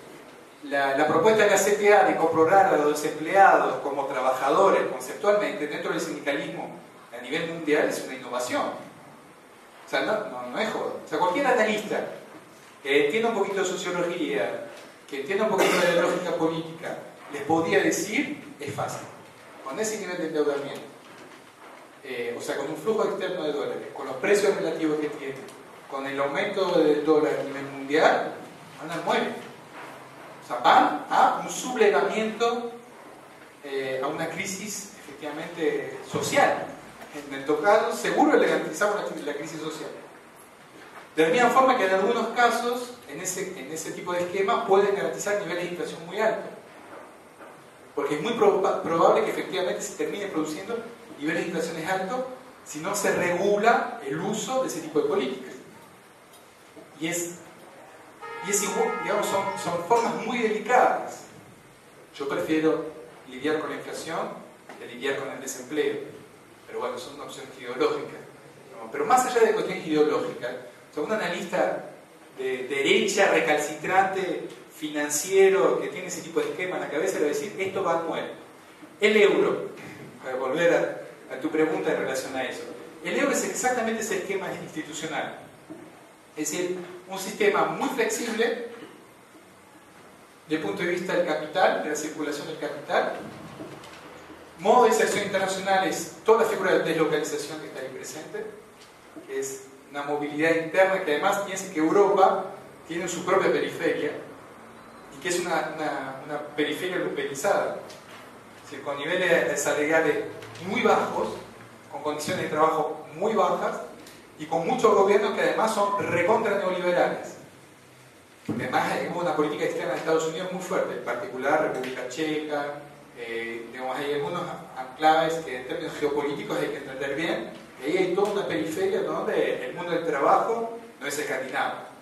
¿Son los ex, los ex comunistas? muchos de los ex países comunistas fueron, de hecho, los que más impulsaron, por ejemplo, en el ingreso de muchos de esos países a la Unión Europea son los propios Estados Unidos.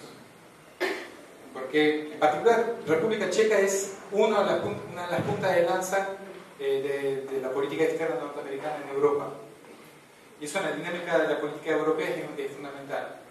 Les, cuento esas cosas porque realmente es, clave para entender lo que, lo que pasa en Europa y la, crisis del euro, el destino eh, del euro está muy atado a esa lógica ¿Cómo uno puede pensar el euro? Primero, primera pregunta, ¿hasta dónde van a llegar las movilizaciones sociales? Porque ahí, nos, eh, como decía Napoleón, ¿cómo? Todavía no estalló. No estalló, no estalló. Tenemos ahí activos en la periferia. Si se fijan en Grecia es absolutamente marginal lo que pasa en términos de movilización social en relación a la dimensión de la crisis. Eh, comparen, si ustedes, si Tomen el prisma argentino para mirar las la movilizaciones sociales que hay en algunos países. En España es, fantástico, pero ni siquiera se oponen al euro, eso es lo, más loco. Eh, se oponen al Estado. Se oponen al Estado. O sea, su, su, dialéctica es con el Estado. Eh, porque no, no, hay un problema de, en general en ese tipo de régimen hay una figura de invisibilización del estatus de la moneda. ¿Cómo? Con los bancos, sí, con los bancos, pero más desde el lado de son corruptos, eh, son, de hecho con lo último el HSBC, eh, eso va, a ser la cereza sobre la torta, los bancos que hacen mala gestión, etc. Lo mismo que en Estados Unidos, ¿se acuerdan de la figura de Madoff? Que fue el chivo expiatorio, el árbol que escondió todo el bosque que había atrás, porque Madoff había miles y miles, y él fue el que cobró toda la cachetada solo.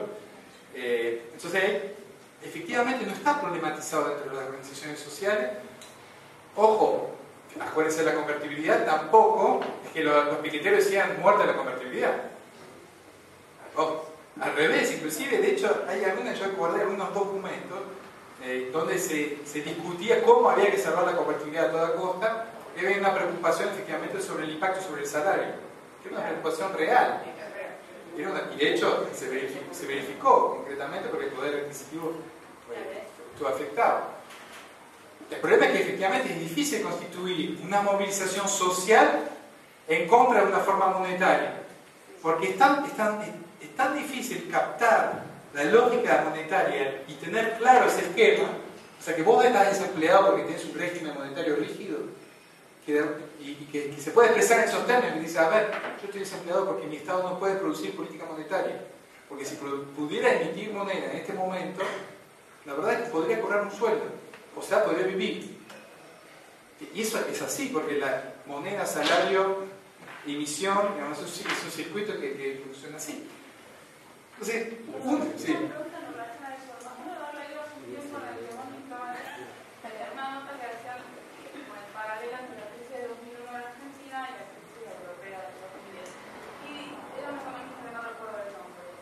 Lordón. ¿Eh? Lordón. Pero que decía que una de las eh, diferencias era que justamente en Europa se podía hacer política monetaria, centralizada en algunos grandes decisores como Alemania, Francia, ¿no? pero que había política monetaria. Por eso te quería preguntar. No, porque vos tenés una figura, de esos te es un banquero central, cosa que no, no hay en la convertibilidad. La convertibilidad es pura autopoiesis de la moneda. La moneda entra en autonomía absoluta y se rige según su propia regla. Acá tenés un banquero central, pero que igual está tan atado por su propia regla monetaria que al fin y al cabo no hace política monetaria. Lo que hace es garantizar la confianza jerárquica en el hecho de que no se va a tocar nada. A lo sumo hubo esa discusión sobre por lo menos incorporar un objetivo en términos de desempleo en los objetivos del, Ba- del Banco Central Europeo. La Federal Reserve norteamericana tiene dos objetivos, control de la inflación y control del nivel de desempleo. O está entre sus atribuciones que si hay mucho desempleo, está en condiciones de emitir. Es mucho más, es mucho más heterodoxa la Federal Reserve norteamericana que el Banco Central Europeo. El Banco Central Europeo es más papista que el Papa. Tenía un solo objetivo de inflación. Ahora es- se discutió la incorporación del objetivo de desempleo al, al Banco Central Europeo. Eh, la verdad que no lo estoy viendo. No estoy viendo la manifestación de eso. Se incorporó, pero no se está aplicando. Se incorporó para apaciguar algunas demandas de algunos sectores políticos internos de, de europeos. Que hay demandas de modificación del euro. Esto es como en 1998, sigo con los paralelismos, para mí son muy fuertes. En 1998, Daniel Mushnik, lo ubican, un periodista, tenía una revista que se llamaba eh, Tiempo, bueno, no me acuerdo el nombre de la revista, pero entrevista a todos los que hoy en día son como los economistas heterodoxos eh, del- de la Argentina sobre la convertibilidad. Todos, no citaré nombres, todos, absolutamente todos decían que había que conservar la convertibilidad, pero que había que modificar cosas dentro de la convertibilidad. Esto es exactamente lo que, que eh, hay en Europa, salvo algunos tipos, los regulacionistas, mis compañeritos de, escuela, eh, como Lordón, que escribe mucho en el mundo diplomático, Teret, Lordón, André Orleán, me piden los nombres de, estos- esos muchachos. Y acá no lo reconocida es porque iba para la versión argentina del modo. Sí, pero lo traduce. Igual no sé si habrá sido él, pero yo sé que él escribió mucho, escribió mucho sobre crisis. eh. Él está en contra de finanzas internacionales, está en contra del euro, no sé. Curia decía que había que salir de la convertibilidad en el Curia, pero no Sí. sé cómo. Curia era uno de ellos, eh, Rapoport, era otro, Mario Rapoport, tarde igual, no todos tarde, pero no es para checarlo, y Alejandro Rosman. Los busqué a todos, eh. Los busqué, a todos los que en algún momento dijeron habría que salir. Curia, Rapoport. ¿Eh? Sí. Después hay cuestiones en quién está autorizado, cuál es el estatus de los. Después estaban los, economistas de izquierda, el grupo de este, pero no, no tenían peso dentro de lo que es el- la autorización del, del saber. Lordón, Eh,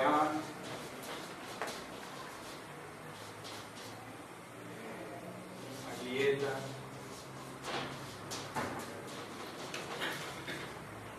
Oye. Entonces, esos son regulacionistas que están en esta perspectiva que estoy presentando. De hecho, esta configuración de forma institucional viene del trabajo de Robert Boyer. Acá en Argentina, esto lo encontrarán en texto de Julio César Nefa.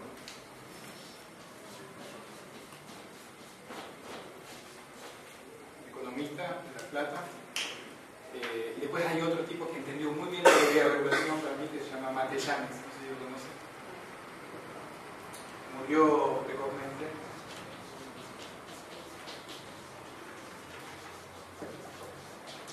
Entendió, Lo- Lordón lo que hace es una relectura de la teoría de regulación en clave espinosista, espinosiana.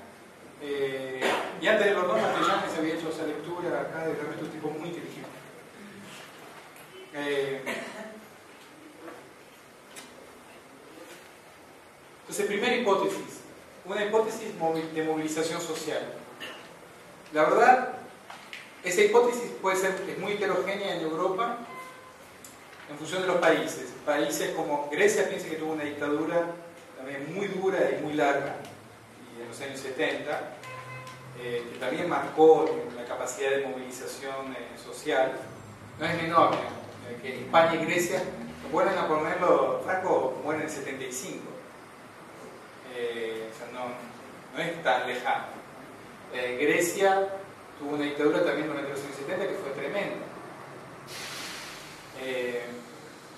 son justamente los, países más golpeados y a su vez los países donde, a pesar de ser más golpeados, la movilización social es relativamente marginal en relación a la dimensión de la crisis. Y ahí hay, realmente la, la variable está correlacionada. No sé qué pasaría efectivamente si ocurriera lo mismo en, Francia o mismo en Alemania o en algunos países contra el... ¿eh?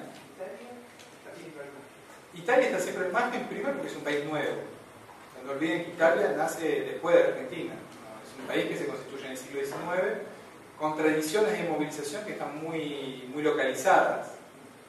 Eh, con una presencia fuerte en el norte de, la extrema derecha, de hecho participó el gobierno de Berlusconi en altas esferas. Eh, es, muy particular. Italia, en términos de movilización social, es muy particular. Tampoco tiene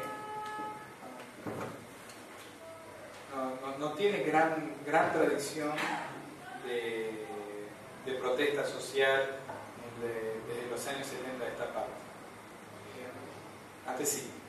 Eh, todo lo que tenía que ver con, organizaciones marxistas, pero a su vez fueron los que inventaron el, eurocomunismo y fue la, forma suave del comunismo en Europa, es, es italiana, entonces ahí la figura de la protesta es marginal sea, realmente Inglaterra, según la historia, los ingleses cuando se enojan, se enojan mucho eh, y se movilizan algunas tradiciones en ese sentido. De hecho, se ha, se ha visto manifestaciones muy violentas en Irlanda, en Inglaterra. O sea que el panorama de la movilización social es relativamente triste, porque uno podría, podría pensar que haya una, una crisis que venga de la movilización social. Esa hipótesis es una hipótesis, pero es una hipótesis poco tangible, en todo caso a mediano plazo. Hay que ver cuánto dura. Si dura mucho, puede ser que las conciencias agudicen. Hipótesis vanguardista, es decir, eh, una hipótesis de, una, de cambios en gobiernos europeos que sean más proclives a la modificación del euro. Miren de cerca lo que ocurre en Francia con la victoria del Partido Socialista. No creo que se modifique mucho la institucionalidad del euro. no creo que vaya, vaya a ir por ese, ese camino. Entonces, la verdad, el, el, pronóstico es esto viene para largo. Eh, figuras de rescate por parte de Alemania se van a multiplicar, desde mi punto de vista, lo cual eso implica un aumento del poderío alemán dentro del espacio europeo Fíjense ahora, tal vez haya que hacer rescates más profundos que un rescate financiero. Hoy, eso es eh, actualidad. Hoy la, canciller alemana que dijo, hablando de España, y tal vez haya ir más allá de las cuestiones financieras, están hablando de intervenciones políticas directamente dentro de su propio espacio. Eh, entre el discurso del FMI y, ella no, hay tanta diferencia. Entonces yo creo que la hipótesis más probable es un reconocimiento del poderío alemán, un encorsetamiento político de los países periféricos que va a generar ejes políticos densos. Eh, los resentimientos que surgen de eso pueden generar efectos de nacionalismo creciente. Punto. Hasta ahí, llega la bola de cristal. Eh, después de eso es todo turbio. En todo caso, nada muy brillante no, es que vemos un, porvenir luminoso en la situación europea. En todo caso, no comprendemos, por el momento. Si esa, era la pregunta, no, se acerque, acerca a la moneda europea, porque la verdad es que no, la veo eh, entonces, en síntesis, la crisis europea se tiene que entender como una crisis propia a un régimen de acumulación caracterizada por una moneda firme, rígida, donde justamente su confianza se funda en la rigidez y su confianza se funda sobre el temor. Es lo mismo, ahí sí, hay una figura muy paralela con lo que es la convertibilidad argentina. Pero la convertibilidad argentina fue más lejos en el sentido que suprime directamente la figura de autoridad, suprime el Banco Central. No, no es que es el banquero central que garantiza la convertibilidad, es la regla en sí que garantiza la convertibilidad. Entonces, efectivamente es una moneda soberana pura. En ese caso hay un banquero que termina operando como soberano. ¿Eh? Eh, y los gobiernos tienen relativamente poco peso sobre eso. El caso de Alemania es particular porque la verdad es que el euro no le está afectando, al contrario. El, euro es absolutamente virtuoso para la economía alemana y la economía alemana salió de la recesión y está, está empezando a despegar y seguramente genera crecimiento. Lo que pasa es que han metido todos los productos en todo el mundo a la semana. Por ejemplo, toda la infraestructura de, de, de ferrocarriles, de transporte, de la iglesia, por ejemplo, son todos alemanes. En Estados Unidos la cantidad de vehículos alemanes que hay es formidable y sé que en China también han llevado industrias formidables y eso es lo que los está respaldando formidablemente. Bueno, ahí, ahí sí me parece que hay una cuestión, ¿eh? que va a haber una nueva modificación, un poquito de futurología también sobre ese punto. Creo que va a haber digamos, una cuestión vinculada con una división del trabajo a nivel tecnológico muy alto. La brecha en la capacidad de, de tecnológica de algunos países en relación a otros va a ser abismal. Alemania está pegando un salto tecnológico enorme. ¿Y cuál es la, por qué? Por otra parte, porque la, la, tecnología, la nueva tecnología y la innovación tecnológica está muy atada al mundo de la finanza. Por exactamente lo mismo que lo que hablamos ayer sobre la cuestión de riesgo. Cualquier innovación tecnológica es en sí financieramente riesgosa, o sea, financieramente jugosa. Porque si ustedes crean activos financieros, el Nasdaq, ¿se acuerdan del Nasdaq?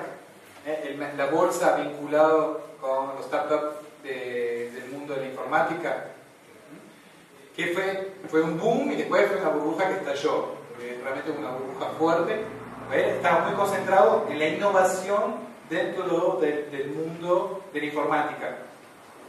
Pero si el, el, tema de la innovación tecnológica se amplía realmente a, muchos campos del mundo productivo, lo cual primero produce un, un valor agregado enorme en la economía real, pero además tiene su espejo en la economía financiera porque es, eso produce mercados financieros muy jugosos porque muy riesgosos, porque todo lo nuevo es riesgoso.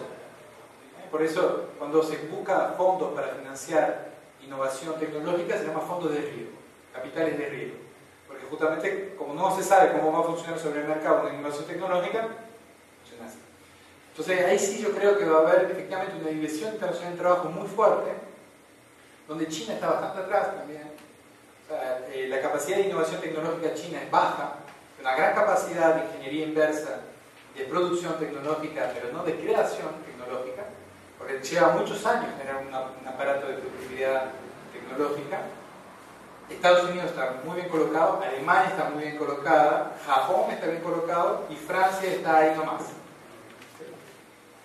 Después, algunos sobre algunas cuestiones muy puntuales en Suecia van a encontrar, pero el mapa del mundo de la, innovación tecnológica se, declina en, torno a 10 o 12 nombres.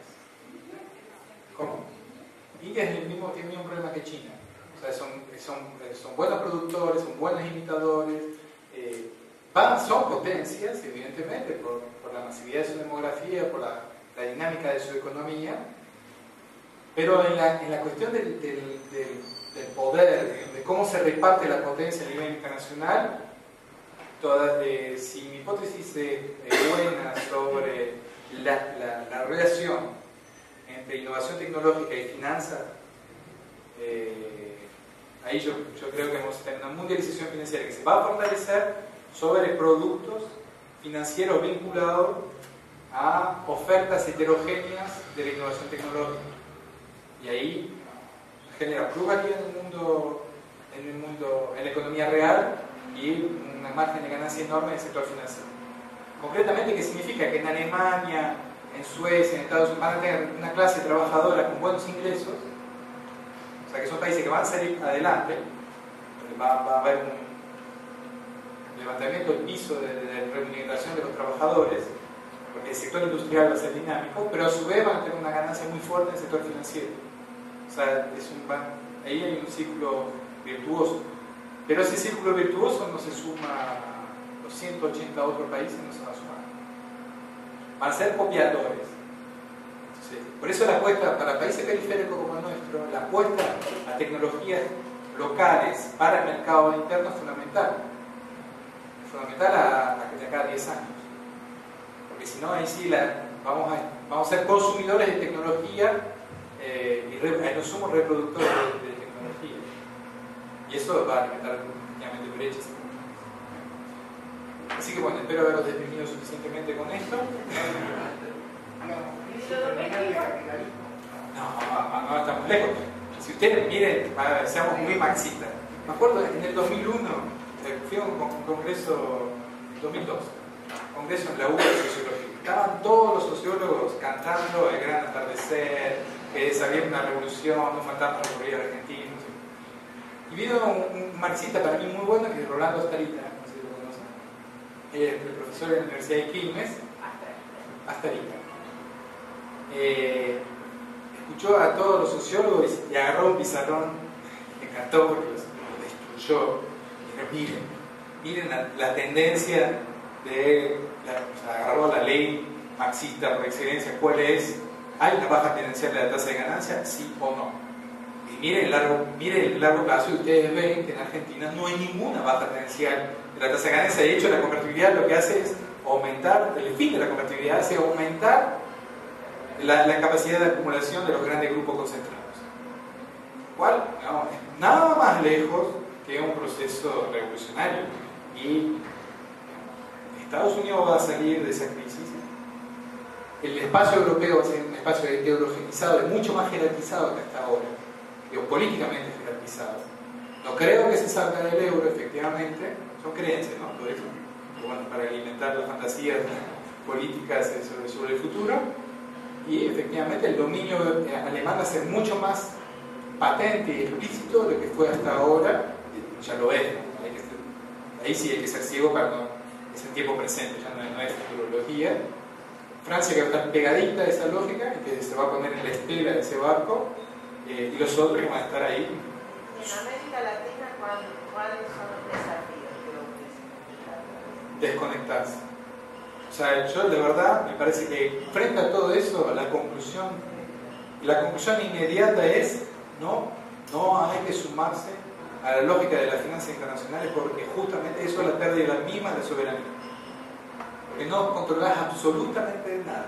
Vos podés tener un una parte tu economía que depende de eso. O sea que efectivamente la apuesta hacia los mercados internos, nacionales, y hacia el mercado interno latinoamericano, seguramente con niveles de crecimiento no tan espectaculares como los niveles de crecimiento que pueden llegar a tener algunos países que estén vinculados con innovación tecnológica, pero por lo menos sostenido en el tiempo, donde la crisis y las fluctuaciones serán menores porque no estarán atados a los ciclos financieros.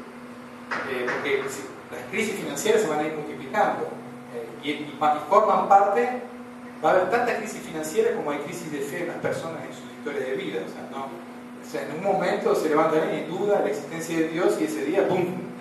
Cae la, y, va a ser, y va a ser así.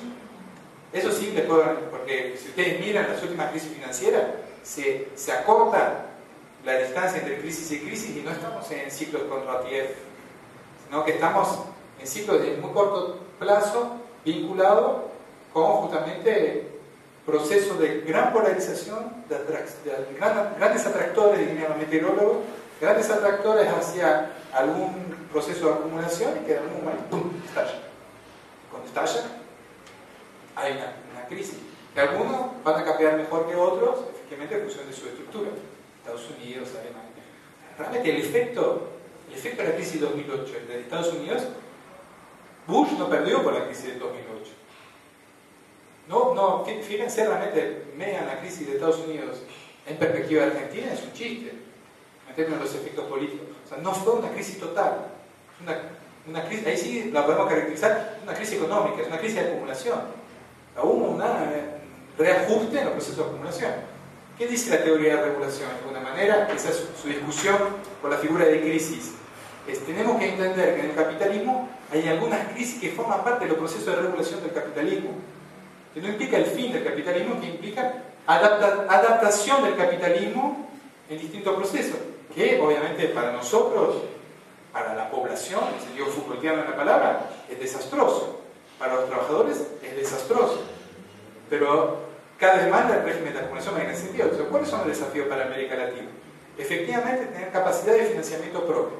O sea, bancos, bancos regionales es fundamental. Moneda única, jamás.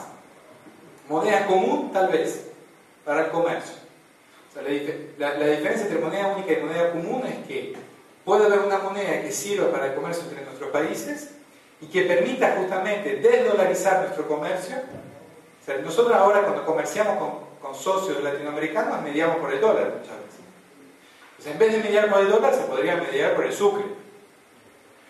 Y eso implica una desdolarización de nuestra economía regional que permite efectivamente ser menos dependiente de los vaivenes del, dólar, depender, y eso es, es muy importante porque eso permite efectivamente tener políticas monetarias regionales.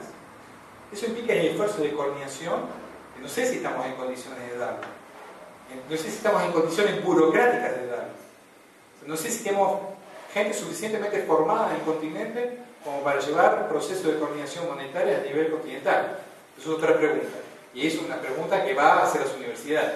¿Cómo las universidades tienen que formar cuadros que estén en condiciones de llevar adelante esos procesos? Sí, pero también, digamos, la importancia de los procesos políticos que sostengan gobiernos, que sostengan universitarios que lleven adelante políticas como esa. Totalmente. Porque si en Paraguay hay un volantazo político y no hay una base social que lo sostenga, por más académico que haya, Totalmente. Pero si no tenés, si no tenés cuadros que puedan llevar adelante una burocracia que te gestione eso, vas a. Son, problemas que tenemos, o sea, eso forma parte, por ahí no es el desafío central, pero es un desafío muy importante, generar un- una, una clase no de técnicos, sino de, de cuadros que tenga una capacidad política y académica de entender y llevar adelante esos procesos.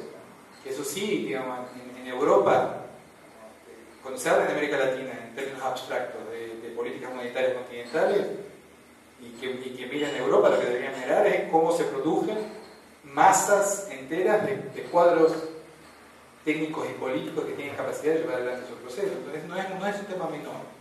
Pero moneda común y no moneda única, eso ya es un, ya, es un lema que tiene que ver con justamente el respeto a las soberanías nacionales en la gestión de sus políticas y que haya una coordinación monetaria a nivel continental, que haya un sistema de financiamiento a nivel continental, bancos regionales, coordinación de las políticas comerciales, co- coordinación no es eliminación de, de la frontera, eso implica procesos de suma conflictividad, que efectivamente está atado a procesos políticos relativamente convergentes.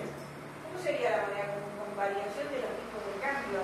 Hay muchos modelos de, de- de- de moneda común, pero vos podés tener perfectamente monedas comunes que, con tipo de cambio variable. Es decir, nosotros para nuestro comercio nos referimos a tal moneda. Entonces vos cambiás en función de la tasa de cambio del día tu moneda en tal, moneda internacional. Esta moneda puede no tener ningún curso legal a nivel nacional. Eh, y hasta puede no haber billete, porque puede ser una moneda puramente transaccional y abstracta. El, el, el ECU europeo, ECU, que fue la, fue la primera forma de moneda común, no de moneda única, antes de, antes de, la, de la creación del euro, había una moneda comercial en Europa que servía como, como un sistema de conversión y que, per- que permitía de no pasar por terceras monedas o evitar transacciones bimonetarias. Pero en ese caso podría estar atado al precio del dólar, por ejemplo. O sea, podría estar. No, bueno, ahí ya está en discusión. Porque vos no, tenés, no tienes por qué estar tratado al precio del dólar. Porque No, pero podría, pero, pero no necesariamente, pero podría. Podría, yo estaría en contra. En ese, en ese sentido, porque, porque vos justamente estás en proceso de autonomización de la lógica de valor. ¿Cuál es el tema de la relación con el dólar? El tema de la relación con el dólar es cómo se generan imaginarios sobre la reserva de valor, cómo se generan imaginarios sobre las lógicas de producción de valor, los sistemas de conversión mentales que cada uno de los agentes operan. Efectivamente, ¿por qué hubo el ECU en Europa? Porque primero trataron de que los agentes económicos, que no eran los ciudadanos eh, a pie que pensaban en ECU, pero los grandes grupos empezaron a empezar en una moneda europea. De ahí la transición al euro fue mucho más natural. Entonces, si vos por lo menos tenés grandes grupos económicos que piensan en otra moneda, puede llegar a pasar alguna cuestión. Y el tema es efectivamente, siempre vamos a volver a la misma cuestión, cómo se producen con procesos de confianza, régimen de confianza en torno a ese tipo de forma monetaria. Y ahí es una cuestión sumamente política, política, simbólica y económica, que tiene, porque el régimen de confianza es fundamental. ¿Cómo se hace, por ejemplo, en este momento para tener una moneda que produzca confianza con Corea, Correa, eh, Chávez, Evo Morales, eh, Cristina, eh, Dilma y Pepe. O sea, es un universo, un nivel de heterogeneidad y de complejidad política que, es enorme. Ahora, aparentemente hay una voluntad común, a pesar de, cierta, de cierta diferencia, a pesar que Ecuador inclusive está dolarizado y que está tratando de pensar cómo salir de la dolarización y que no le encuentre la vuelta. ¿Cómo está funcionando eso? Mal, mal, porque los costos, los costos eh, la, verdad es que los salarios mínimos en Ecuador están muy bajos, eh, la dolarización la pagan sobre todo los trabajadores, este, eso es un, problema. El problema de, Ecuador es que, gran parte de su renta es eh, la exportación del, camarón, después las remesas, y, y ahora estar en crisis porque gran parte de las remesas venían de España eh, ustedes iban a Madrid, la comunidad ecuatoriana era enorme. Eh, camarón, remesas y petróleo. Remesas son el dinero de los extranjeros que mandan a su país de origen. Eso suma, en muchos países latinoamericanos es, uno de los, de los, principales ítems en el crecimiento del país. Eh, entonces Ecuador es, es, complejo, analizan bajo distintas formas posibilidades de salir de la dolarización, pero no, la verdad que están Caballo fue uno de los, operadores de la organización. En ese caso, en Ecuador, ¿el dólar es moneda soberana? ¿Es soberana? No. O sea, el, dólar es, raro porque los Estados Unidos no siempre están a favor de la dolarización. No es fácil que Estados Unidos acepte que se, dolarice una economía, porque a ellos le generan cuestiones de, gestión de su, de su política monetaria. En general aceptan dolarizaciones de economías chicas eh, el, Salvador, Guatemala, eh, una, pequeña experiencia de, dolarización en, Lituania. Eh, pero en general son pequeñas economías sobre las cuales se siente que tienen relativo control. por lo menos en el momento que se dolarizó en Ecuador, ese era el imaginario que había, no que imaginaban en Ecuador iba a ocurrir lo que ocurrió políticamente, la verdad es que esa no la tenían prevista. Cobran lo que llaman un derecho de señoriaje, es decir, el, por emitir una moneda se le paga una especie de regalía, si quieren, sobre, sobre, esa moneda, y, efectivamente el país eh, no tiene ninguna capacidad, o sea, compra dólares como si comprara una mercancía. O sea, tiene que, tiene que ir y buscar esos dólares y los paga. Eh, entonces, la, verdad es que es, rarísimo ese tipo de forma eh, ese tipo de forma de funcionamiento monetario, porque son, ya la, forma de institución moneda se, se, diluye de una forma muy particular. Eh, pero implica un también implica un respecto a un conjunto de, reglas, como el, el balboa, ¿conocen el balboa panameño? Eso es muy raro, porque si ustedes van a Panamá van a tener todos los precios en balboa. Si buscan un balboa no lo van a encontrar nunca porque la, economía está dolarizada. Pero guardaron el, signo Balboa y de hecho estafan varios, eh, estafan a, algunos eh, turistas eh, porque dicen, por los precios, dice, ¿esto cuánto es en, dólares? Y le dicen, no, pues, no, es mucho más barato que usted piensa, porque el Balboa está en relación con unas cuatro, eso lo he visto, estafan varios turistas. Pero un Balboa es por un dólar, pero le dicen Balboa, los precios están en Balboa Entonces, fíjense ahí, tienen, tienen, sin embargo, un sistema bimonetario, porque hay un sistema de cuenta y de, representación que sigue existiendo, pero no es lo mismo que exista el Balboa, que es, todos los precios están en dólares. Y los panameños son muy celosos de, de hablar del Balboa. Y les puede parecer rarísimo, porque si ustedes van a Panamá, van a escuchar gente que les habla del Balboa. Si no- y nunca van a ver un Balboa ni en pintura. Eh, entonces, bueno. Sí, se, entendió lo de la crisis europea, lo- lo- algunos escenarios y desafíos, y desafíos para América Latina, yo creo que claramente hay que aprender, América Latina tiene que aprender a convertir a Argentina, claramente, de lo que implicó de llevar hasta las últimas consecuencias de la lógica de la financiarización a través de la política monetaria, y tiene que aprender lo que, lo que ocurre, de lo que ocurre en Europa. Eh, después todo lo demás es política. Política ahí sí trabajar.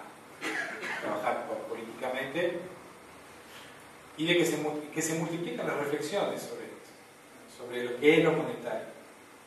Nosotros estamos tratando de trabajar en eso, por lo menos en el ámbito del Banco Central Argentino, de meter algunas discusiones porque no es fácil. Imagínense, los, eh, nos confrontamos con qué problema. Los economistas estos no lo piensan así. No es que lo piensen en esos términos. ¿Y marcó el POM? Con Mercedes Marcolpón hablamos mucho. Eh, y ella es muy abierta.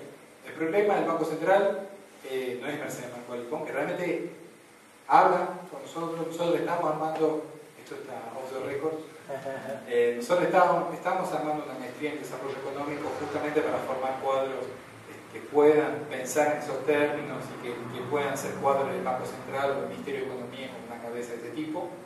Entonces estamos interviniendo, tratando de intervenir políticamente desde la formación de cuadros. Eh, el problema es el directorio del Banco Central. Eh, y la verdad que un- un- una presidenta o un presidente del Banco Central tiene que negociar mucho con su directorio, no es que toma decisiones de forma autónoma. Es un sistema que está pensado de tal forma que tiende a ser lo más conservador posible distintas, son equilibrios de distintas fuerzas políticas. Y como muchos están nombrados tienen autonomía por mucho tiempo, algunos vienen de las gestiones anteriores. Entonces, para tener un directorio más o menos coherente, necesitas como 12 años arriba de un banco central. Y además tienes que componer con fuerzas que son muy poderosas. Realmente el sector bancario es un sector muy poderoso, el sector financiero es un sector muy poderoso, que si no tiene representantes sentados en el directorio te pueden operar políticamente. Entonces, es, es muy, es muy complicado modificar un banco central. La- la- ¿Se acuerdan las discusiones que hubo sobre la modificación de la ley de entidades financieras? Eh, la propia presidenta salió a decir de eso no se habla más. Eh, no, es, cualquier cosa. Sí, es, hasta ahí llegamos, listo, por- porque efectivamente es, su corporación es todavía más fuerte. Entonces es muy complicado. ¿Qué pasa? Que vos, vos decís que es político. Y yo lo que, lo que me parece es que es cultural, porque es tan acendrado en el, y arraigado en las personas locales, ciertos conocimientos que están como ciertos internos, que no es como se borra con una goma en la cabeza de la persona. No, pero ahí tiene que ver con las peleas en el campo simbólico, en el orden, en el orden simbólico. Yo estoy totalmente de acuerdo. De hecho, por eso estamos tratando de formar gente con nuestra cabeza. El problema cuál es? Es que ahí hay que ampliar cuáles son los regímenes de autorización del saber. Sí, el, el estómago, al final vamos a terminar hablando exclusivamente de eso, pero bueno, vale, vale- vale la pena vale la pena ahondar en esas cosas, pero si ustedes miran eh, la, subversión cognitiva, estamos hablando de lo que está planteando es lo que Bourdieu llamó una subversión cognitiva, es decir, modificar un orden de sentido de tal manera que efectivamente sea posible pensar políticas monetarias de otra forma. Eso implica revertir 100 años de historia, historia simbólica, y de incorporación por parte de la población de, esos criterios. Les tomo un ejemplo, para haber hablado por lo menos un poco del ahorro. Cuando yo, hice un trabajo más etnográfico sobre el ahorro en los sectores populares. Cuando, cuando fui a ver mi primera entrevistada, y le dije, bueno, era una entrevistada y un informante clave. Cuando llamamos un informante clave es alguien que te abre el mapa. dije, mira, vengo a hacer, eh, en la boca, en la parte más complicada del barrio de la. Yo vengo, vengo a hacer un trabajo sobre el ahorro en el sector público. Se, se ríe y dice, nosotros somos pobres, no ahorramos. Esa figura de que cuando sos pobre no ahorras, es justamente la figura que producen los propios economistas. Yo hice varias entrevistas al sector bancario argentino, inclusive el sector cooperativo, más progresista, el sector bancario, etc. Todos, te decían, todos decían exactamente la misma frase que esa señora, que no había estudiado economía, pero es, no, si son pobres no ahorran. ¿Por qué? Porque la economía de la pobreza es una economía de la reproducción. Y el ahorro es un excedente. Entonces, si hay un excedente es que no son pobres. Porque el pobre siempre vive al límite, que es el límite de su reproducción. Lo cual no hay nada más lejos que la realidad de la economía de los sectores populares, que no es solamente una economía de reproducción. Hay ahorro.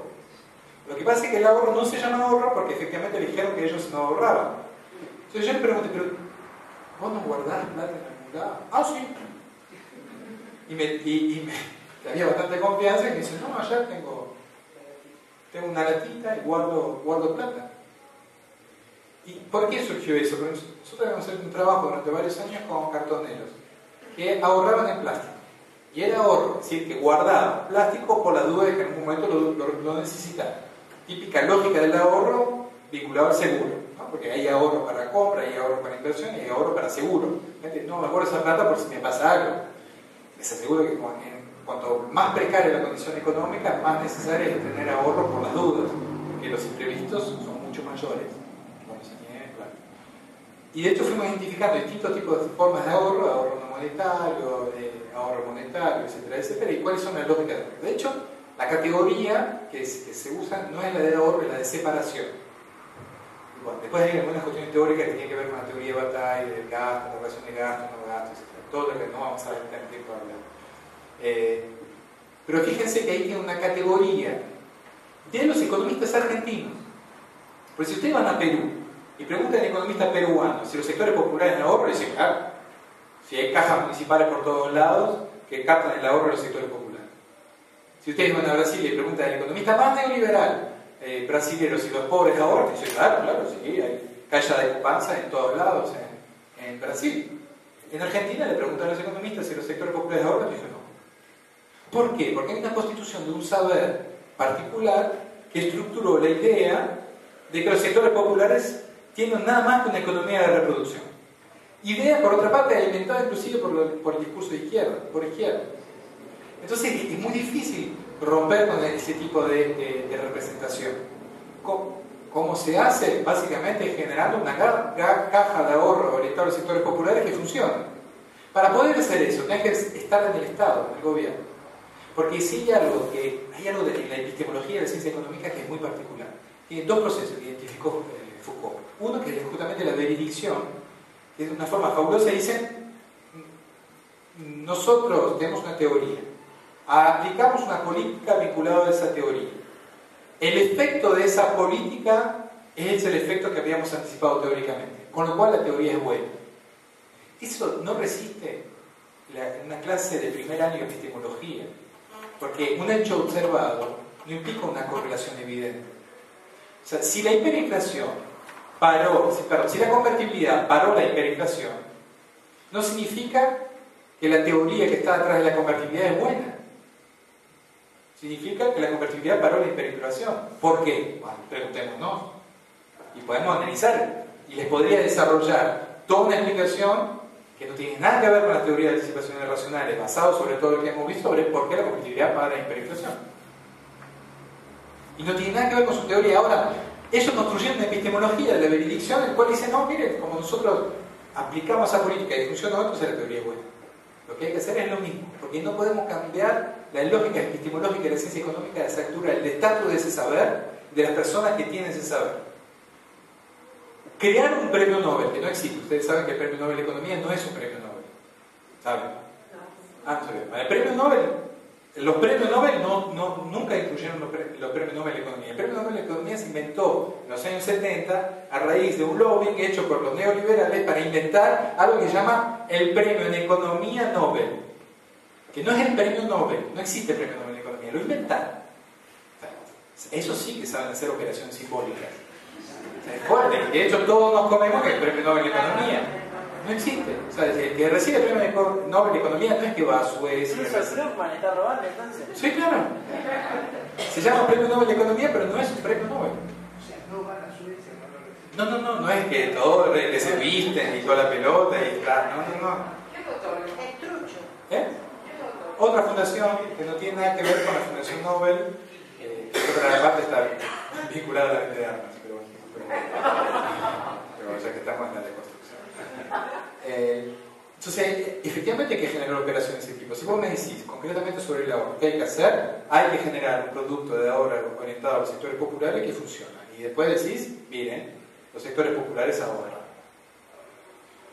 En Argentina, algunos de ustedes lo habrán conocido, en 1915 se crea la Caja de Ahorro Postal y Claro, comprábamos estampillas de la escuela primaria. Por favor, yo tenía una Cada alumno libretita. tenía una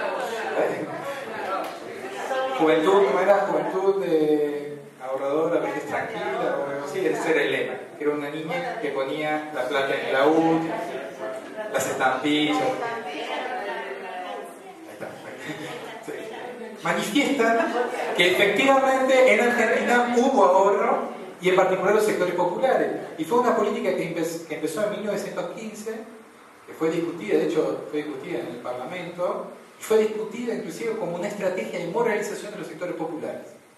Porque se considera que los sectores populares derrochaban, tomaban, o sea, de todo, de toda una política así de desprecio de los sectores populares que lleva adelante la idea de hay que disciplinar las clases populares incentivándolos al ahorro, porque el ahorro es el gran disciplinador moral de los sectores populares y se llevó adelante efectivamente hasta que fue desapareciendo poquito a poco entre los años 60 y los años 70 y la inflación terminó de destruir esa, esa libre. Las últimas aparecieron en los años 70, pero era, era muy común efectivamente cuando alguien era chico se regalaba libreta.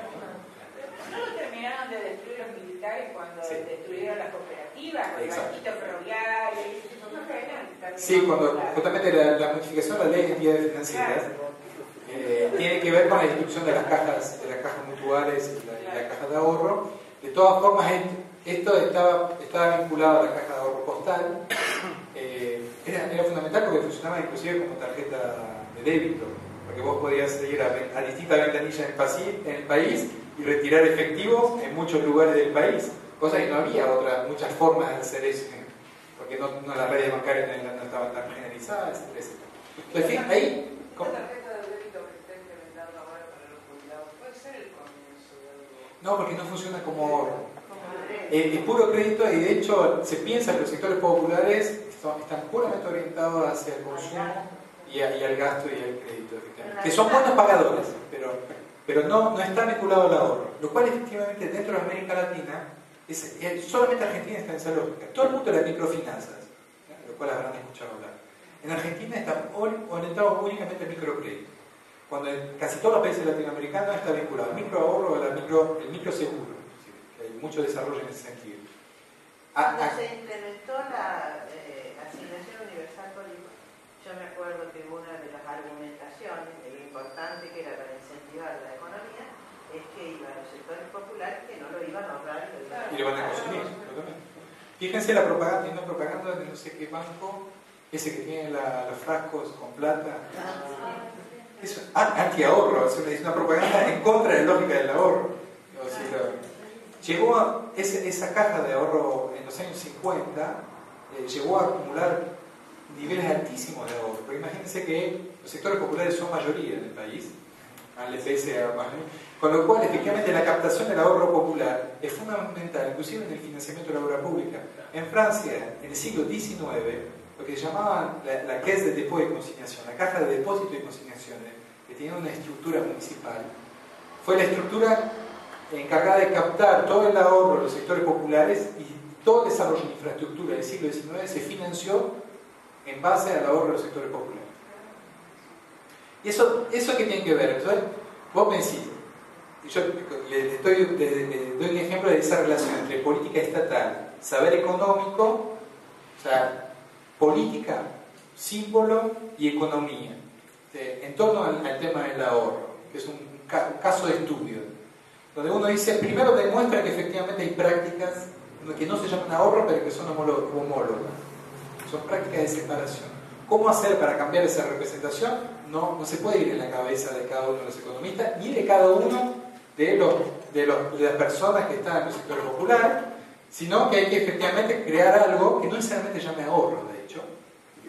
De hecho, mi propuesta, yo elaboré toda una propuesta en torno a eso y estoy, sigo avanzando eh, sobre ese punto. Eh, mi propuesta era generar una, productos de ahorro vinculados con las loterías. Después todos me van a saltar al cuello sobre la cuestión de la moralidad en lugar del juego, pero uno que es un estudioso de la economía de los sectores populares, el único lugar donde hay una vinculación de confianza con una institución donde pase dinero son las loterías. Y por lo menos en la provincia de Buenos Aires, la, la única institución pública que llega a todos los rincones del Gran Buenos Aires es la lotería de la provincia de Buenos Aires. Entonces, después podemos, discutir sobre eso, pero había desarrollado toda una, una propuesta. ¿Cómo? Está publicado en algún lado y ahora estoy terminando un artículo sobre, que se llama Separar de sí, separar para sí. Después se lo, lo, se lo, se lo mando. Lo, lo, voy a mandar a publicar. Lo publiqué, publiqué algunas cuestiones en Francia y lo estoy terminando de conceptualizar justamente en relación a Bataille, la, la figura del gasto y no gasto. ¿Cómo? Se juraré mediante ahí. Cae de darme. ¿Cómo? Cae de darme tarea. Eh, entonces, esa figura, efectivamente, para generar subvenciones cognitivas dentro del campo de la economía, es necesario poder llevar adelante políticas y explicitar y concientizar el efecto de esa política. Es decir, hacer prácticas de benedicción, en el sentido más Foucaultiano de la palabra. Concretamente implica hacer una política de ahorro, mostrar que efectivamente los pobres ahorran y decir a los economistas, ven, ahorran. Si no, por la demostración no funciona, porque las resistencias son tan grandes, porque, porque efectivamente hay bloqueos cognitivos que no permiten respetar esa cosa. A nivel de los bancos centrales latinoamericanos, casi todos los bancos centrales están llevando adelante políticas heterodoxas. Ahora, si ustedes se sientan con los banqueros centrales de América Latina, salvo Mercedes, que realmente es el medio aparte, en su formación teórica, todos los demás deben decir, ah, bueno, sí, funciona, pero bueno, teóricamente, no sé, es raro lo que hacemos. No hay ninguna ruptura cognitiva. O sea, no, no, que hay un momento que dicen, no, claro, entonces, si lo que hacemos funciona de políticas heterodoxas, entonces por ahí hay que revisar la teoría de atrás. Eso, eso, eso hasta ahí es difícil, porque hay efectivamente política heterodoxa, pero no hay un proceso de concientización de que esas políticas son heterodoxas que efectivamente permiten atravesar crisis. Atravesamos una de las peores crisis financieras del capitalismo en 2008, casi todo el continente, relativamente bien. ¿Por qué? Y, y no hay, entonces algunos economistas, bueno, la, la desconexión. ¿Eh? El viento de cola. Siempre es un argumento que eso es el, el, el, la segunda gran invento de la, de, de la, de la epistemología de la economía. Es la idea de que si las cosas no funcionan es porque siempre faltó algo. Y si la cosa funciona es porque hay algún factor externo que hace que funcione. Pero siempre, ¿eh? Siempre. Entonces, si la competitividad no funcionó fue porque, al fin y al cabo, el déficit público fue demasiado alto.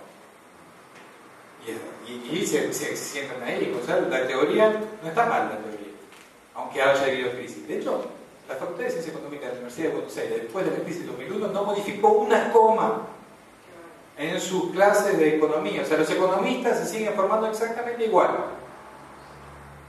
Exactamente igual. Y los que ven apareciendo en escena pública es gente que buscó formarse en, otros, en otras esferas, que buscó formaciones propias, por otro lado. No, fue en el, no fueron en las aulas de las universidades donde eso ocurrió. Y de hecho, dentro del campo de la economía seguramente no estén tan legitimados. Dentro del campo del saber no estén tan legitimados. Entonces es, es, una, es una lucha que hay que llevar adelante efectivamente sobre un frente simbólico, político y económico. Y ahí, sobre eso quiero llamar su atención, como habrán entendido, eh, es fundamental pensar la moneda. Porque el ahorro, las políticas monetarias, la forma en la cual se organiza la acumulación implica una reflexión sobre el estatus de la moneda, los desafíos del continente, pasan por una reflexión sobre la moneda. O sea, la moneda realmente, por eso digamos, para mí es central estudiar lo monetario, porque está no solamente en el corazón de las lógicas sociales, pero además está en el corazón de la reflexión sobre la dinámica del capitalismo a nivel nacional, a nivel regional, a nivel mundial. La crisis financiera que estamos teniendo son crisis de índole monetaria. Las competencias internacionales pasan por mediaciones monetarias y si no tenemos una buena comprensión de la moneda, hay algo que se nos escapa. Hay algo de la historia de la humanidad que se nos escapa. Por eso, para mí es la centralidad de entender ese objeto y que efectivamente ese objeto no puede ser entendido desde un solo saber. Hemos hablado de antropología, de economía, de sociología, de historia, de literatura. El lugar de la moneda en la literatura es fantástico. La literatura se ocupó de la cuestión de, de la moneda. Porque es un tema central. Es un tema central. Mi objetivo era nada más que dejarles preocupados. Preocupados por los destinos de la humanidad. Una preocupación que espero que sea productiva, tanto intelectualmente como políticamente, porque a eso nos, nos dedicamos.